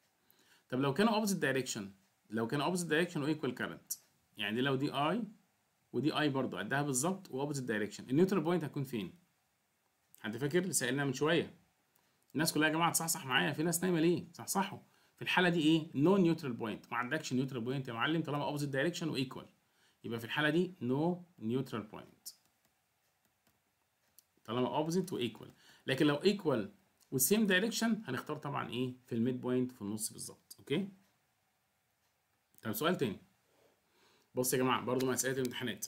هو السؤالين تبع نفس الموضوع اللي هو 30 and 31 بيقول جايب لي هنا إيه؟ هو من غير ما أبص كده من بعيد جايب لي circular coil و straight wire circular coil و straight wire طب عايز إيه في السؤال ده؟ بيقول لك an insulating straight wire آه بالمناسبة الأسلاك اللي إحنا شغالين بيها دايما تبقى insulated فعادي ما تتخضش من الكلمة دي. أسلاك معزولة عادي يعني عليها بلاستيك البلاستيك ما بيمنعش ال magnetic field ال magnetic field برضه هيفضل موجود عادي. ماشي؟ Passing the tangent. Tangent يعني in touch كده in the circular loop. المهم في الآخر آه مش عارف إيه the earth the diagram. آه شو ده مش عارف cancel خلاص هو عايز الراجل آه عايز ال density cancel ده magnetic flux density دي الحتة المهمة بقى at the center. يعني أنهي رسمة بيت cancel كلمة cancel يعني إيه يا شباب؟ يعني neutral point يعني أنهي رسمة من دول تديك neutral point إحنا اتفقنا عشان neutral point بين ال circular loop وال straight wire لازم نقطة التلامس بالظبط تبقى ال current opposite direction ال current هتبقى opposite direction ماشي؟ ولا؟ ولا حد رأي تاني؟ طيب. آه معلش اديني فرصة كده. طيب هو خلاص الإجابة كده يا شباب طالما نقطة التلامس الوحيدة اللي هيبقى فيها opposite direction وباينة جدا هتبقى دي ماشي؟ خلاص يبقى إجابتك المفروض هتبقى دي بس في غلطة في السؤال غلطة صغنطوطة جدا في السؤال. يعني لو حد عنده شوية ملاحظة كده قوام ملاحظه هيعرف إن الإجابة دي هي الإجابة الوحيدة اللي تنفع بس برضه السؤال غلط. في غلطة في السؤال. إيه بقى الغلطة يا شباب؟ إيه الغلطة يا رجالة؟ النقطة دي في letter D اللي إحنا اخترناها مش هتنفع ماشي؟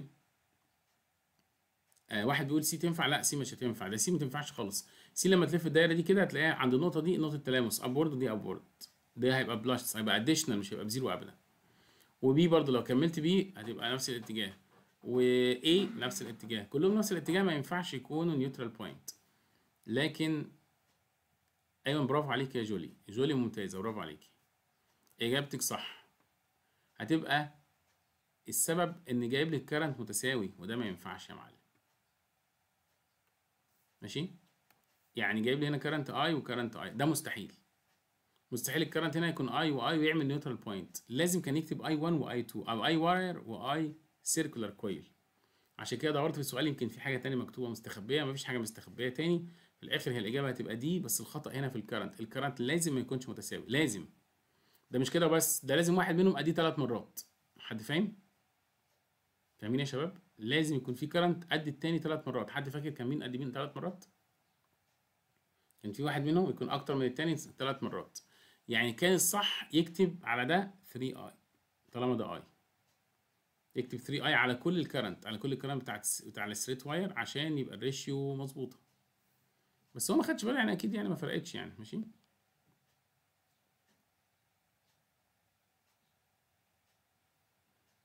طيب حد قال أنا مش فاهم يا جماعة إحنا لسه شارحينها والله؟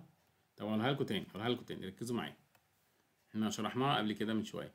قلنا لو عندك circular coil بس أنا آه، تقريبا رسمناها وشرحناها من شوية. أكيد أنتوا مش مش من جروب تاني خليكم معايا كده يا شباب أهي. إحنا شرحناها بالتفصيل. قلنا لو في عندك circular coil همسح دي بقى خلاص دي مش محتاجة امشي دي امشي امشي امشي امشي. لو circular coil و straight wire عشان يبقى في total magnetic flux density يبقى بزيرو لازم يكون في اول شرط يكون ال current اللي هنا وال current اللي لحظة ال touching ده والتلامس يكونوا عكس بعض. واحد طالع لفوق والتاني نازل لتحت. كمان لما تساويهم ببعض يطلع لك ال I بتاع ال coil equal I wire over pi يعني ال I wire هيبقى equal 3.14 I coil يعني ال I wire قد ال I بتاع ال coil ثلاث مرات. ده اللي إحنا قلناه يا شباب صح؟ عشان اللي بيسأل. ال I wire لازم يبقى قد ال I coil ثلاث مرات. وهو في نفس الامتحان هيسأل على السؤال ده أنا فاكر. يعني هو شوف يعني كمان بيغلط نفسه في الامتحان. هتشوف نفس السؤال ده تقريبا شفته في نفس الامتحان حاجة زي كده. ماشي؟ ما ينفعش يكونوا قد بعض في ال current ابدا. كان المفروض يكتب I 1 و I 2 فمش مشكلة يعني. طب إيه تمام؟ خش السؤال اللي بعده. السؤال اللي بعده تكملة للسؤال ده. إيه ده؟ ده هو هو نفس الموضوع. If the loop of the mid of مش عارف the one turn اللي هي لفة واحدة. okay. And you succeed the central of magnetic flux at the center of the loop. ماشي. The the current will be ال current بتاع مين؟ بيقول لك then the current of the wire. عايز يشوف ال current بتاع ال wire هيكون قد إيه من ال current بتاعت ال coil والله إحنا لسه قايلين من شوية إن ال... إن إحنا أثبتنا في الآخر إن ال I بتاعت ال wire المفروض تبقى equals pi multiplied ال I بتاعت ال coil pi يعني كام؟ يعني 3.14 I coil يبقى قد ال I coil ثلاث مرات وحتة.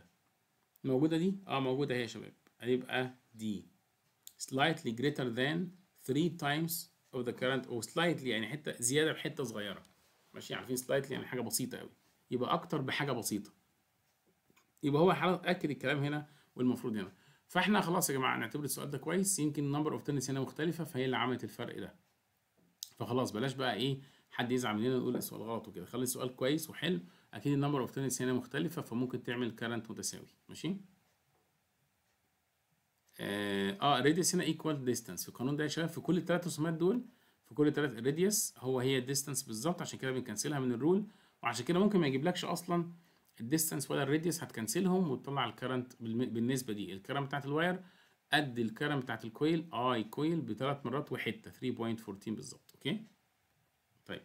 في يا جماعة شكل كده مشهور في magnetic flux density هنسميه تحت مسمى كده uniform shape uniform shape الأشكال المنتظمة.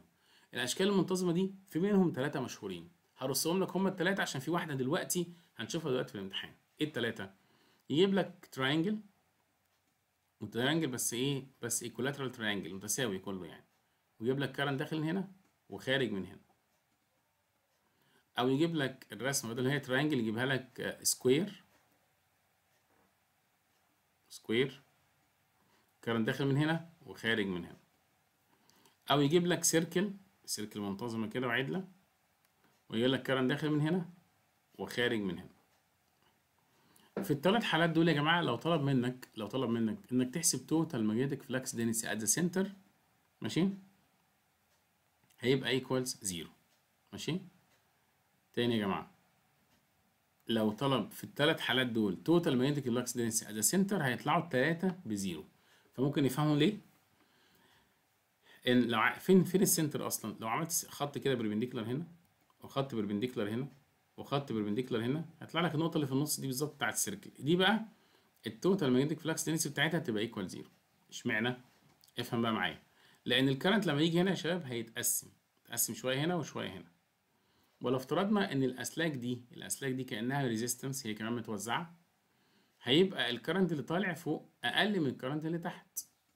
يعني ال current اللي, اللي فوق ده لو كان I هيبقى اللي تحت ده 2 I ده اشمعنى يا مستر؟ أنت تخيل كده إن كأن في resistance هنا و resistance هنا و resistance هنا. اللي فوق بقى عندك resistance double فتاخد ال current أقل تاخد ال current النص. اللي تحت العكس كان resistance واحدة بس خدت ال current الأعلى. طب ده مصر هيعمل اختلاف؟ لا ولا هيعمل اختلاف ولا بتنجان. هتخلي بالك بقى هتعمل إيه. ال current ده يا شباب ده straight wire عنده magnetic flux density هنا inward صح؟ دي inward طب الكهرباء لما هتمشي كده؟ هتعمل magnetic flux density تاني inward فعندي اتنين inward طيب ال current اللي ماشية تحت هنا. هتعمل magnetic flux density فوقيها هتبقى outward بس اديها مرتين عشان ال current هنا إيه double اديها مرتين يعني إيه يا مستر؟ يعني هنا اللي فوق دول لو كانوا 2 B اللي تحت هي كان 2 B بس opposite direction فال total يطلع zero يبقى عند النقطة دي total magnetic flux density at the center at center of the circle of triangle equal 0 ليه equal 0 عشان ال current اتقسمت والتقسيم هنا ما كانش بالتساوي لأن اللي خدت resistance أكبر عندها current أقل. والعكس. طب لو لسه مش فاهم ركز كده معايا في الحالة التانية اللي تحت. الحالة اللي تحت دي حالة سهلة وجت في الامتحان. ال current دي يا شباب لما تيجي هنا هتتقسم بالتساوي شوية فوق وشوية تحت وبعدين يتجمعوا تاني ويمشوا هنا. يعني اللي فوق دي لو كانت I اللي تحت هتبقى I برضو طب عايز أحسب magnetic flux density عند ال center. أحسبها للجزء اللي فوق والجزء اللي تحت. طب ما الجزء اللي فوق هيبقى قد اللي تحت بالظبط بس هيكون opposite direction لأن اللي فوق ده هيديني inward واللي تحت ده هيديني outward. ماشي؟ يعني انت برضو total magnetic flux density هنا هتبقى equals zero طالما شكل منتظم وال current هيتقسم هيتقسم بالتوزيع أو التوزيع المتماثل. ماشي؟ طيب آه هنا. بتاعت ال square دي غريبة شوية. معقولة ال square هيدينا برضه zero فين zero بقى؟ عند ال center لما نعمل كده intersected between the two diagonals هيطلع لي point هنا جميلة. هنقول الآتي. ركز بقى معايا.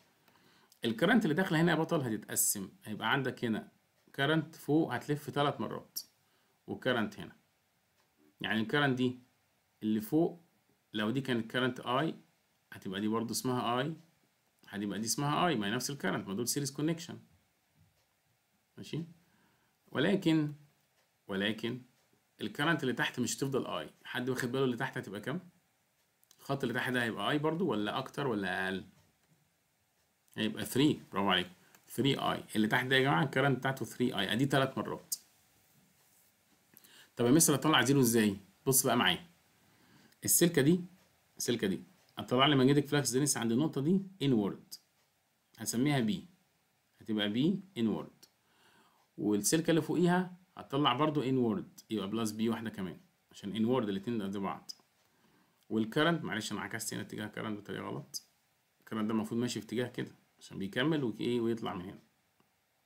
هنا برضو هتبقى inward كله inward التلاتة اللي فوق دول inward فالتلاتة مجموعهم 3 B طب اللي تحت؟ هيبقى outward بس إيه يا بطل؟ قد أي أي واحدة من الثلاثه ثلاث مرات عشان عندي 3 I ما هي ال magnetic flux density ال straight wire direct proportion مع ال current. يبقى mu I over 2 pi d فتخلي بالك هيبقى ال I هنا عشان زادت ثلاث مرات ال magnetic flux density هتزيد ثلاث مرات. فيبقى برضو عندك 3 B بس في عكس الاتجاه فال total يطلع zero يبقى باختصار كده عشان بس ما نضيعش وقته كتير قوي. إحنا بنعمل revision سريع.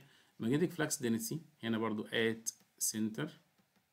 في أي شكل منتظم equal zero بس تخلي بالك اتجاهات ال current ماشية إزاي. اتجاهات ال current تتقسم بقى بالشكل ده وده السؤال اللي جه بعديه طول في الامتحان. قال له عندك current اتقسمت هنا كده. أو حتى من غير ما يقول أنت لازم تتقسم. يعني شوية يطلعوا كده وشوية يطلعوا كده.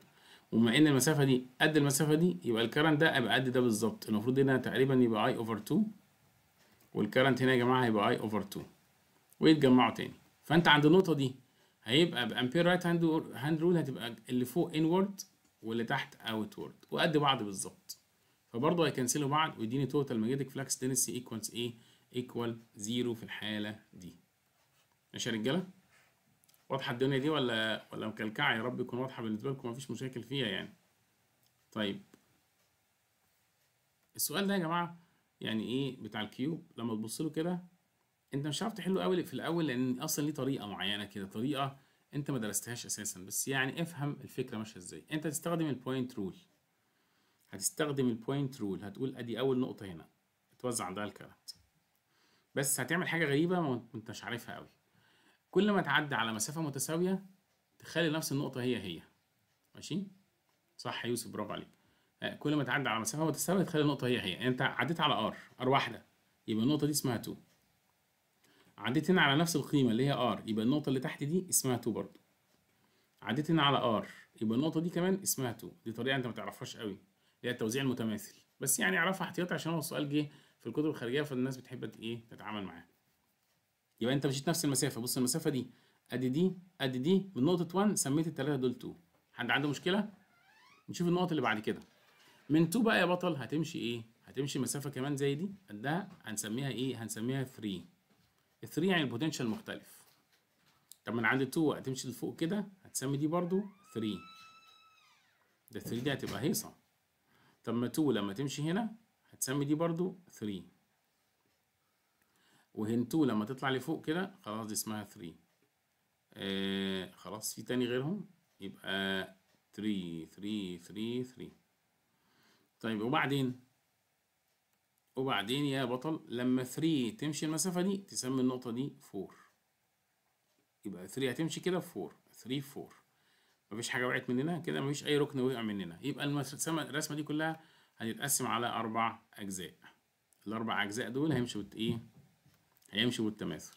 يعني في عندي بوينت 1 نقطة كده أسميها 1 و 2 و 3 و 4 4 خارج منها الكهرباء 1 داخل منها الكهرباء. هقول تاني أنا عملت التوزيع دي إزاي يا شباب؟ ال current ماشيه في أمان الله عند النقطة دي سميتها 1 يبدأ نتوزع. المسافة دي زي المسافة دي زي المسافة دي. يبقى دي 2 ودي 2 ودي 2 نفس ال نفس ال potential يعني.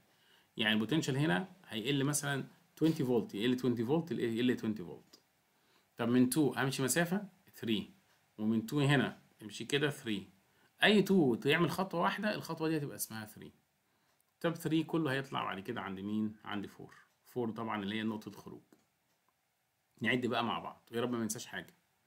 بين 1 و 2 بين 1 و 2 في كام resistance بين 1 و 2 أدي واحدة 2 وفي تاني؟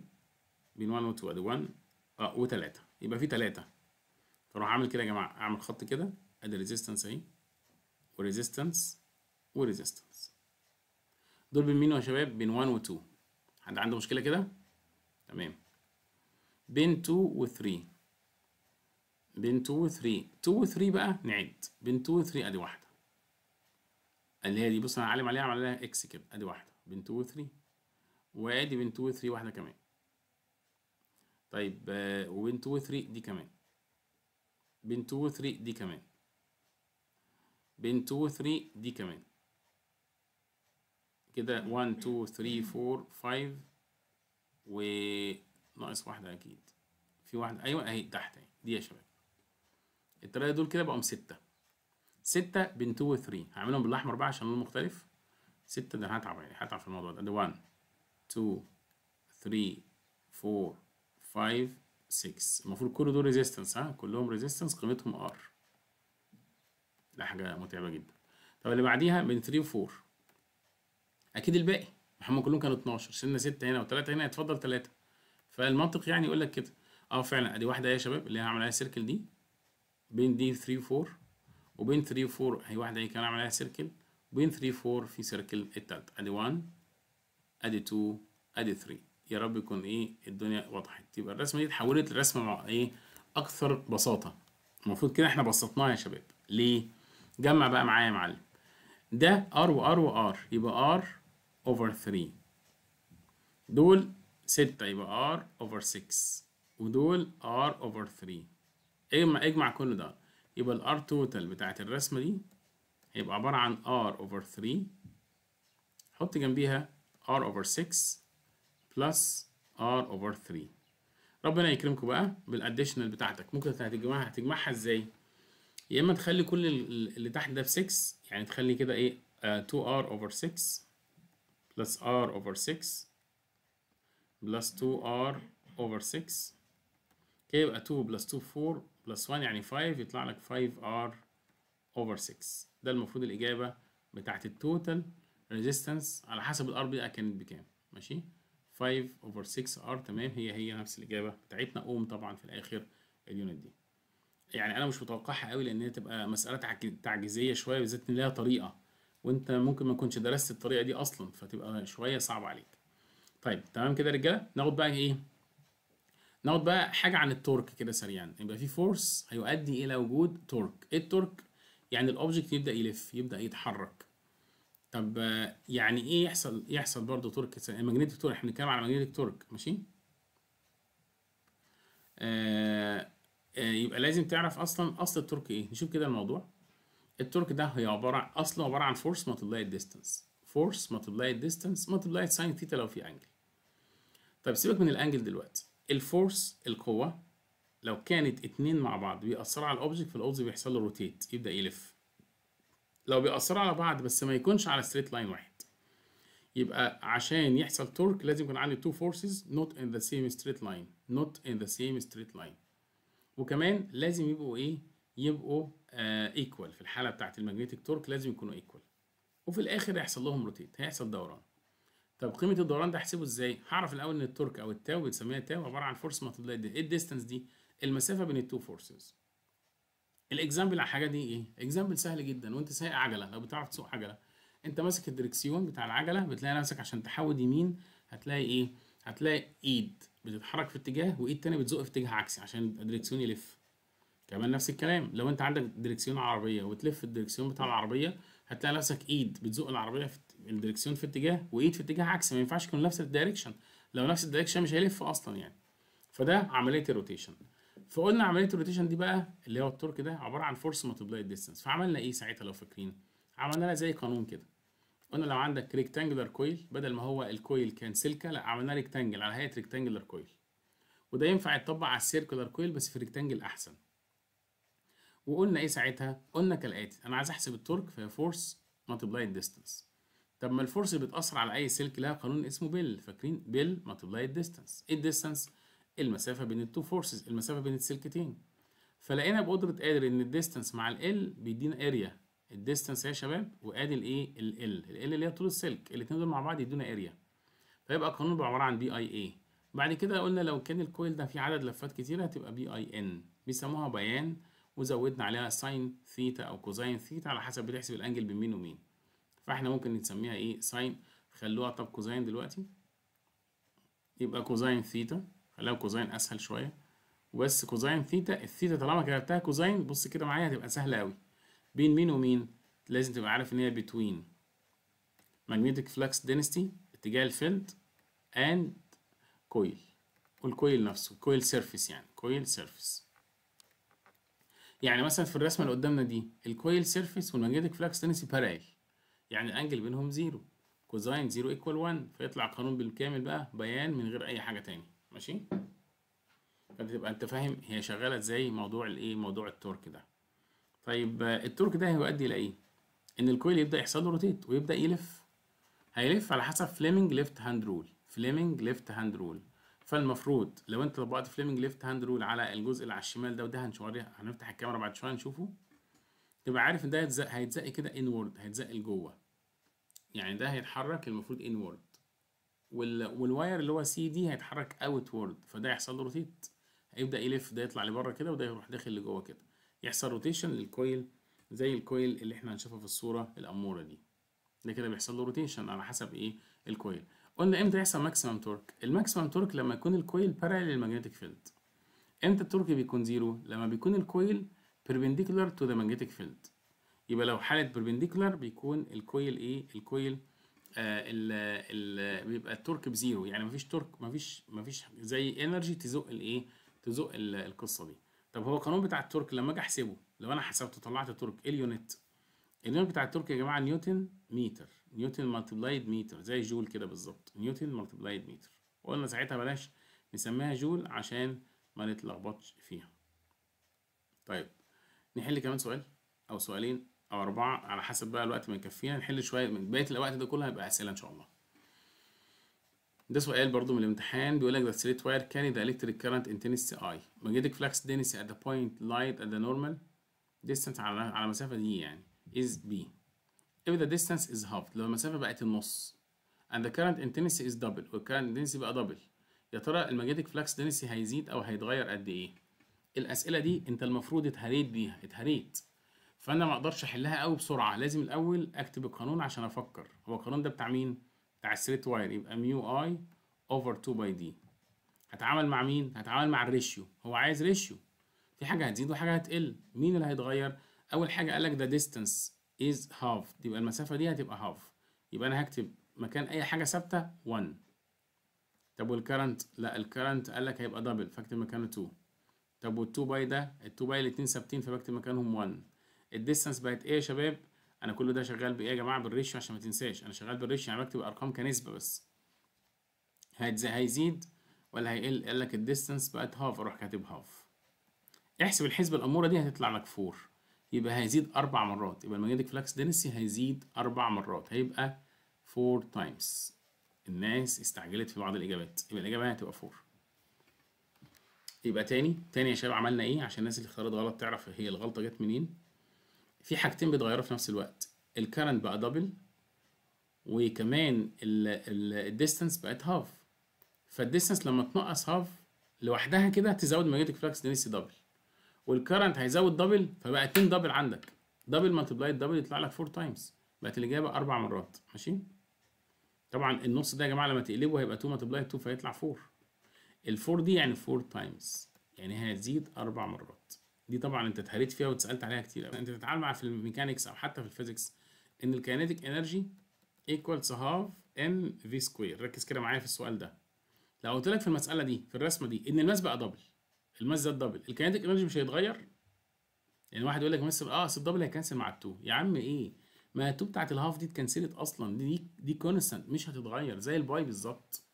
يبقى لو قال ال mass double هتقول له kinetic energy double طب وال half ملهاش أي تأثير دي constant ملهاش تأثير في ال ratio ماشي يا رجالة؟ طيب يا رب يكون فهمناها كده. يبقى السؤال هيكون إيه؟ السؤال هيكون 4 طبعا ينفع تحلها بطريقة إيه؟ عشان حد كان كاتب في ال comment B 1 over B 2 magnetic flux density 1 over 2 ينفع طبعا عادي. واشتغلها بقى بنفس الطريقة. هيبقى عبارة عن إيه؟ equals I 1 over I 2 multiply d 2 over d 1 اشتغلها كده هيطلع لك برضه 4 times ماشي؟ بس خلي بالك إن ال distance ترتيبها عكسي.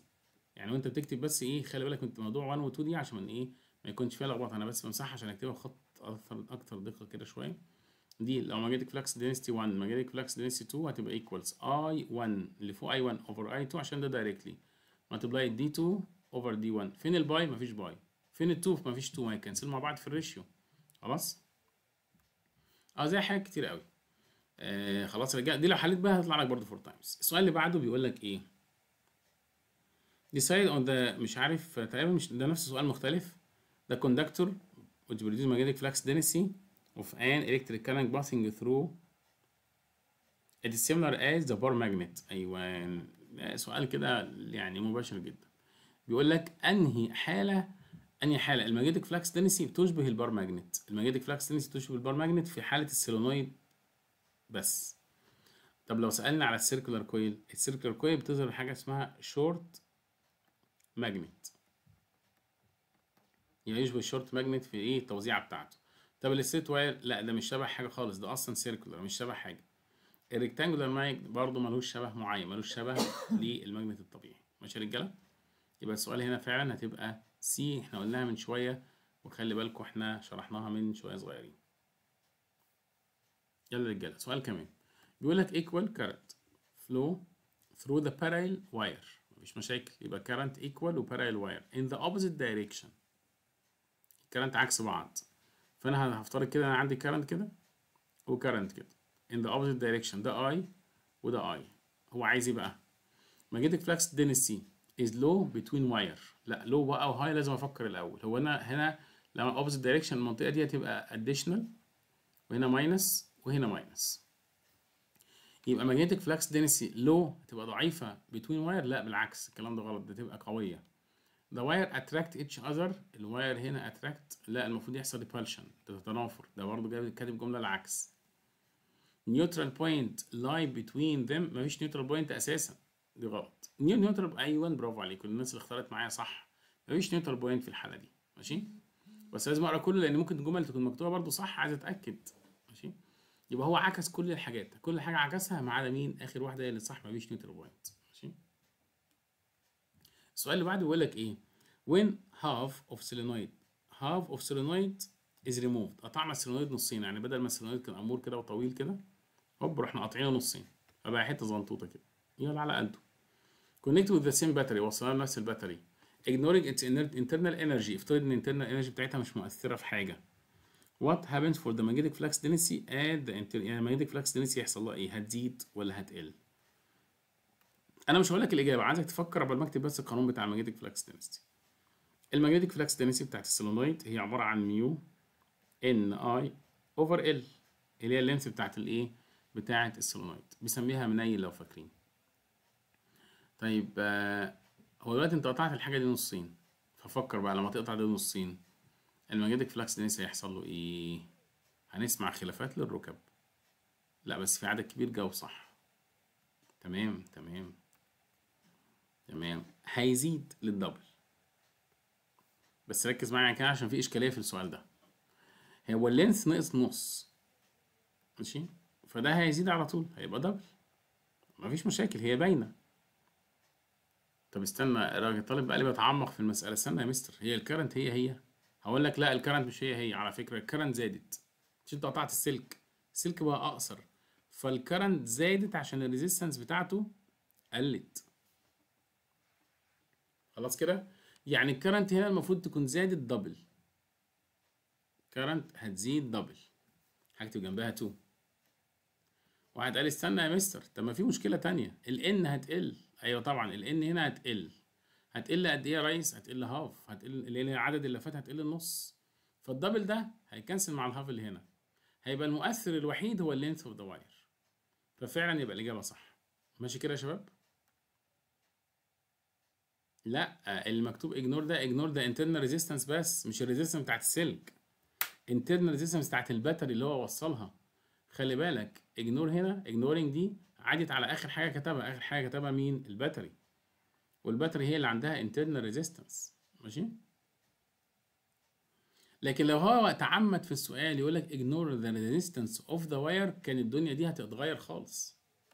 يعني لو قال لك في السؤال ignore the resistance of wire مش internal resistance اسمه resistance of wire. ساعتها ال current ده بالنسبة لي هيفضل هيفضل ثابت.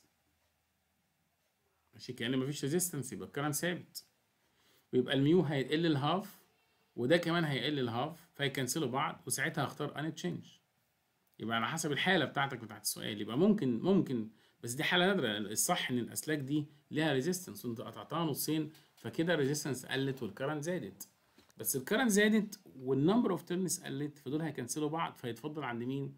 يتفضل عند ال length هو المؤثر الوحيد. فالإجابة تبقى increases to double. ماشي يا شباب؟ السؤال بعده. السؤال اللي بعده ده جايب لك coil ال coil بالمنظر ده هو يعتبر بالنسبة لي solenoid يبقى ده كده إيه؟ solenoid طب ال solenoid ده هعمل بيه إيه؟ والله ال solenoid ده أنت لو وصلت له كهرباء هيتحول ل magnet.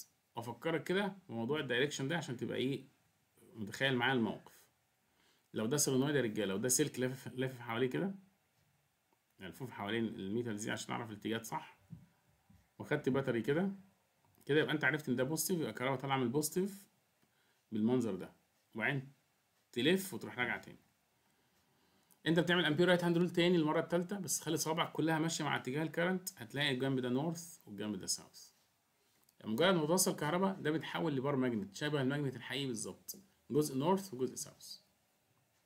مش ده السؤال فين السؤال بقى؟ السؤال لو في حديدة متعلقة في ال spring. ال spring يعني في مرونة في الحركة. وانت وصلت كهرباء.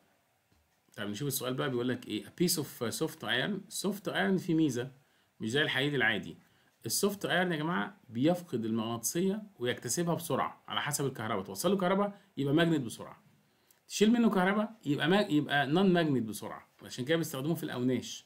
عارفين الأوناش اللي بتشيل الحديد في مصنع الحديد والصلب أو تشيل عربيات والحاجات اللي هي metals بيستخدموا soft iron اللي هو الحديد المطاوع بيسموه بالعربي الحديد المطاوع. ال soft iron أو الحديد المطاوع ده ميزته جميلة جدا. توصل له كهرباء يبقى magnet. لحظة ما هتفصل منه الكهرباء يقول لك لا شكرا أنا ما بقتش magnet خلاص. غير ال steel. الحديد الصلب ده رخم. لو وصلت له magnet أو حولته ال magnetic field يفضل magnet. تفصل عنه الكهرباء؟ يفضل magnet كده ربع ساعة. فطبعا هيقرفك في الشغل لو أنت شغال في شركة ولا حاجة وعندك ونش عايز ينقل حديد من مكان لمكان يبقى لازم تفصل بقى عنه الكهرباء وتروح تشرب شاي وترجع عشان يفصل الإيه؟ الحديدة دي. المهم في الآخر يبقى ال soft iron دي ليها وظيفة مهمة. of the huge طبعا وضخمة زي ما أنتم شايفين. Huge end of elastic spring. ال spring ده عنده نسبة مرونة above the solenoid. طيب. Great number of turn. عنده أعداد كبيرة جدا. Great number هنا برضو توحي ليك إن ال magnetic flux dens اللي هتتكون هتبقى كبيرة. هنا هتبقى كبيرة جدا. ال magnetic flux dens يعني هيبقى هيبقى magnet قوي. يقدر يتحرك كده ويتأثر في حاجات. طيب. A pointer attached to the mark x. يعني أنت متعلق عند نقطة اسمها x. إيه بقى السؤال؟ بيقول لك a current is passing through the coil. أول ما توصل current لل coil and then reversed. Reversed يعني نعكس الكهرباء. يعني مرة هتوصل ال battery بالشكل ده والمرة التانية هتوصلها العكس. توصل ال battery العكس. يبقى هتعكس الايه هتعكس التوصيلة مرة مع مرة. طيب نشوف بقى هيحصل إيه. الأول قبل ما أعكس أي حاجة أول ما هتوصل حضرتك أي توصيلة بأي عدلة هيتكون فيها في ناحية north وناحية south معرفش هنا على حسب التصميم ده أنا مش شايف مين north ومين south سواء كان north فوق أو south كده كده هيعمل attraction لل iron لأن الحديد بينجذب لأي magnet الحديد ده يا جماعة ferromagnetic يعني بيحب جدا ال magnetic field يبقى لازم وحتما ولا بد يتسحب لتحت وال x تنزل لتحت. يبقى ده هينزل لتحت في المرحلة الأولى. طب لو قلبت ال battery قلبت ال battery هينزل لتحت برضه. لأن ال north وال south الاثنين بيعملوا attraction لل iron يعني الإجابة الصح هتبقى الاثنين هتبقى below mark x سواء وصلت التوصيلة الأولى أو التوصيلة الثانية. يبقى في الحالة دي ما تفتكرش بقى إن هي مرة هيبقى لفوق ومرة هيبقى لتحت عشان انت عكست ال direction لا عكس ال direction ده هيأثر هيأثر معاك في حالة واحدة بس. ركز بقى معايا في الحالة دي اللي هو ما جابهاش هنا. لو دي ما كانتش حديد لو الحتة دي ما كانتش حديد لو قال لك إن ده magnet لو ده كان magnet هيبقى جنب north وجنب south فساعات يعمل attraction وساعات يعمل repulsion هيبقى في تنافر لو في north مع north. فساعتها هيبقى في اختلاف لكن هو جايب لك iron الراجل ده طيب راجل طيب مش شرير حديد بينجذب لأي حتة north أو south. ففي الحالتين هينجذب ويقرب يقرب سنة فكده هيبقى تحت ال x ما يبقاش في مرة x ومرة y ماشي؟ ماشي يا يوسف عماد تمام. يبقى هنا تبقى below إيه؟ ده mark في الحالتين below ودي برضه تبقى below يعني أنا باكد تاني على التطوير اللي ممكن يتم. انت ممكن يتم لك التطوير السؤال ويحط لك magnet. لو حط لك magnet حضرتك بس إيه تبقى مصحصح شوية ال magnet ده عدلته عاملة إزاي؟ لازم يجيب لك العدلة. ولازم ساعتها الرسمة ما تكونش كده على فكرة. ما هو فاهم. لو جاب لك حاجة محتاج فيها ال north وال south لازم الرسمة تبقى زي الرسمة اللي أنا راسمها تحت. يبان فين ال north وفين ال south عشان تعرف تتعامل هتعمل attraction إمتى أو repulsion هيكون إمتى. ماشي؟ طيب سؤال تاني يا شباب. سؤال برضو من أسئلة الامتحان. بيقول لك عندك هنا straight wire two straight wires واحدة ال current بتاعتها I أنا بتقل بس الحاجات اللي مش باينة دي I واللي تحت ال current 2 I والاثنين same direction نبقى عايز إيه؟ which point can you expect to be neutral point معرفش ليه الامتحان ده كان مليان أسئلة عن neutral point neutral point يعني إيه يا شباب؟ يعني total magnetic flux dens equal zero لازم تبقى منطقة negative وأقرب للأقل في ال current. منطقة negative وأقرب للأقل في ال current. مين منطقة negative يا شباب؟ B تمام؟ الإجابة B صح. ليه؟ لأن منطقة ال negative هي المنطقة دي كلها دي منطقة آه negative اللي في النص أنا plus ليه؟ دي يا جماعة negative area ودي plus region ودي plus region طب مين الأقرب للأقل في الكرنت؟ البي قريب من الاي لكن السي قريب من التو اي فالإجابة الصح هتبقى B طب السؤال الثاني بيقول لك إيه؟ The net magnetic flux density due to the two current is equal at the points مين يعني عايز نقطتين يطلع عندهم ال magnetic flux density قد بعض. نقطتين magnetic flux density يكون قد بعض. يا نهار أبيض ده أنا لازم أحسب كل النقط. أحسب ال total magnetic flux density عند A وعند B وعند C وعند D وأشوف هيطلعوا equals إمتى. بس أنا ممكن واحد أتجنب واحدة منهم. أتجنب ال B مش هجيب عند لأن ال B أصلا ب zero. total magnetic flux density عند zero هت... عند B هتبقى zero. ماشي؟ واحد بيسألني هو ليه لازم تبقى أقرب للأقل في ال current ما أنت ال total magnetic flux density عند النقطة دي ب zero يعني إيه يا شباب؟ يعني أنت B 1 هتبقى equals B 2 يعني هتبقى I1 over D1 equals I2 over D2 هيكونوا equals هما الاثنين فده معناه إن ال current الأعلى لازم يكون عنده مسافة أكبر وال current الأقل عنده مسافة أقل لأنه كده بقى indirectly proportional. ماشي يا شباب؟ طيب.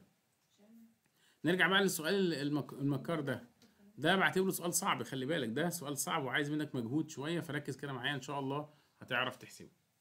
هنحسب magnetic flux density مرة عند A ومرة عند C ومرة عند D آه واثنين منهم أكيد هيساووا بعض. بس B لأ لأن B كده كده ب zero. أنت عارف total magnetic flux density عند B ب zero.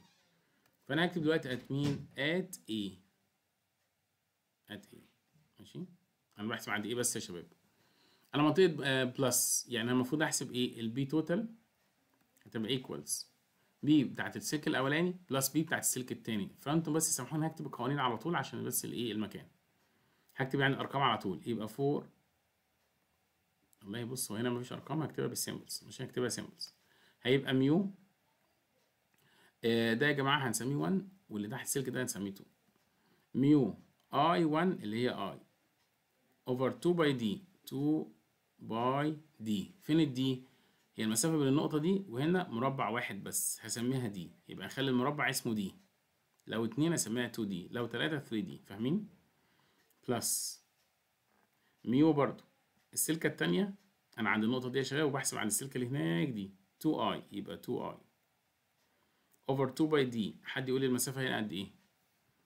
المسافة بين السلكة التانية و A هتبقى كام d عد معايا كام مربع؟ دي 1 2 3 4 يعني هتكتب هنا 4 d ماشي يا رجالة؟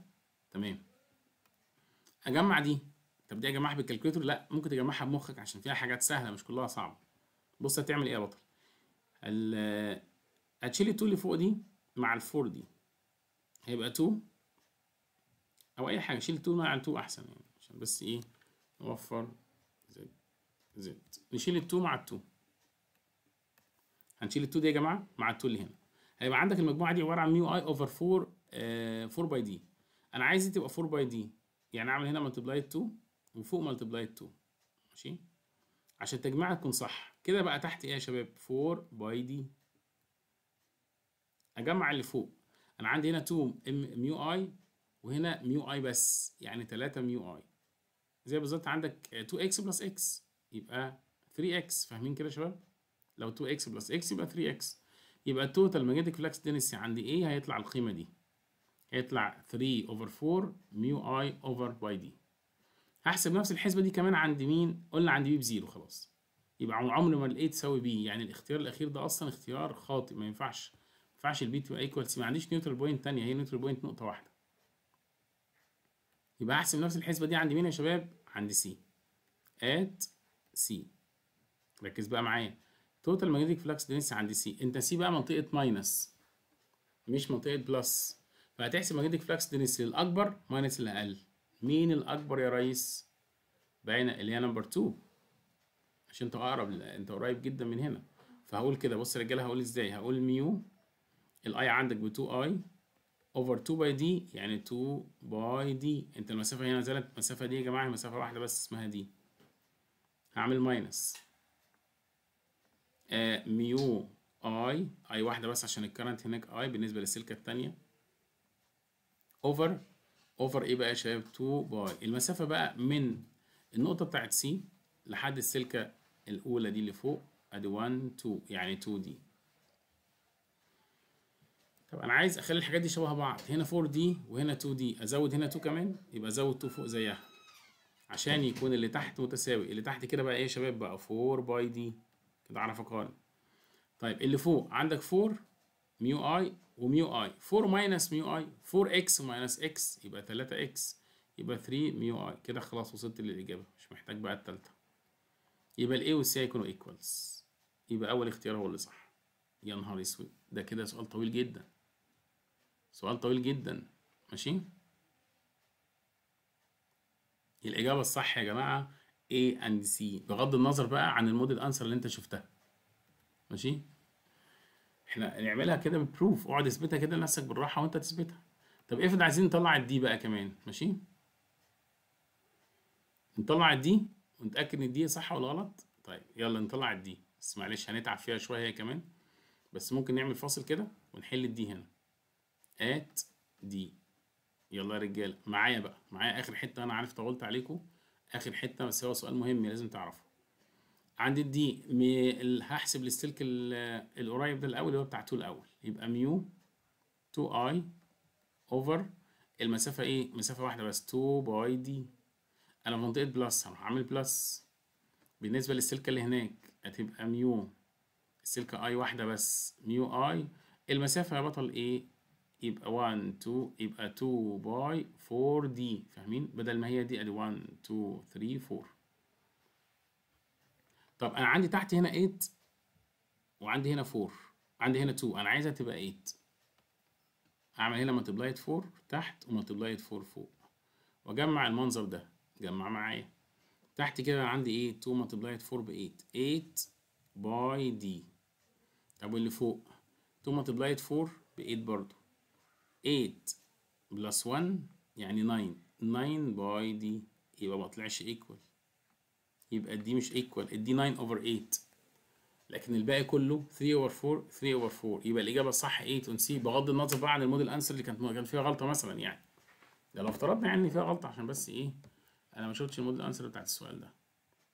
فالأسئلة اللي من النوع ده ما تخضكش خالص. آخر سؤال بقى يا جماعة عشان يبقى خلصنا النهارده شغلنا بتاع الأسئلة كلها سؤال بالمنظر ده. اللي إحنا كنا سايبينه في ال home وناس كتيرة جدا بعتت لي يا مستر هو السؤال ده كان مشكلته إيه؟ نتعامل معاه إزاي؟ آه بص يا رجاله هو ال magnetic flux هو بيقول لك أصلا إيه؟ ده magnetic force acting on the side AB equal F. عند ال AB ده equal F. طب ال force بقى بتاعت side BC فطبعا الطالب البسيط هيقول لك يا مستر إيه ده؟ BC ده السلك ده أطول. أقول لك آه صح الطول هنا زاد. حلو جدا. فال force ال force أصلا عبارة عن B I L فيقول لك يا مستر طالما الطول زاد ال force هتزيد. أقول لك لا استنى استنى استنى. ده في angle هنا. ده في لسه عندي sine theta يا حاج. sine theta دي هتعمل إيه؟ بتزود ولا بتقلل؟ هتقلل طبعا. هتقلل القيمة شوية بتاعت ال force هتقلل شوية اللي زادوا.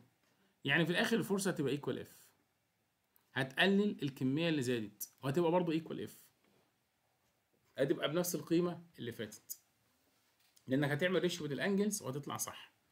وخلي بالك ال angle دي مش أنت هتستخدمها أصلا. يعني أنت لو هتعمل خط كده straight line أعمل خط تحت كده شوية أدي straight line ال angle اللي أنت عايزها اللي هي دي.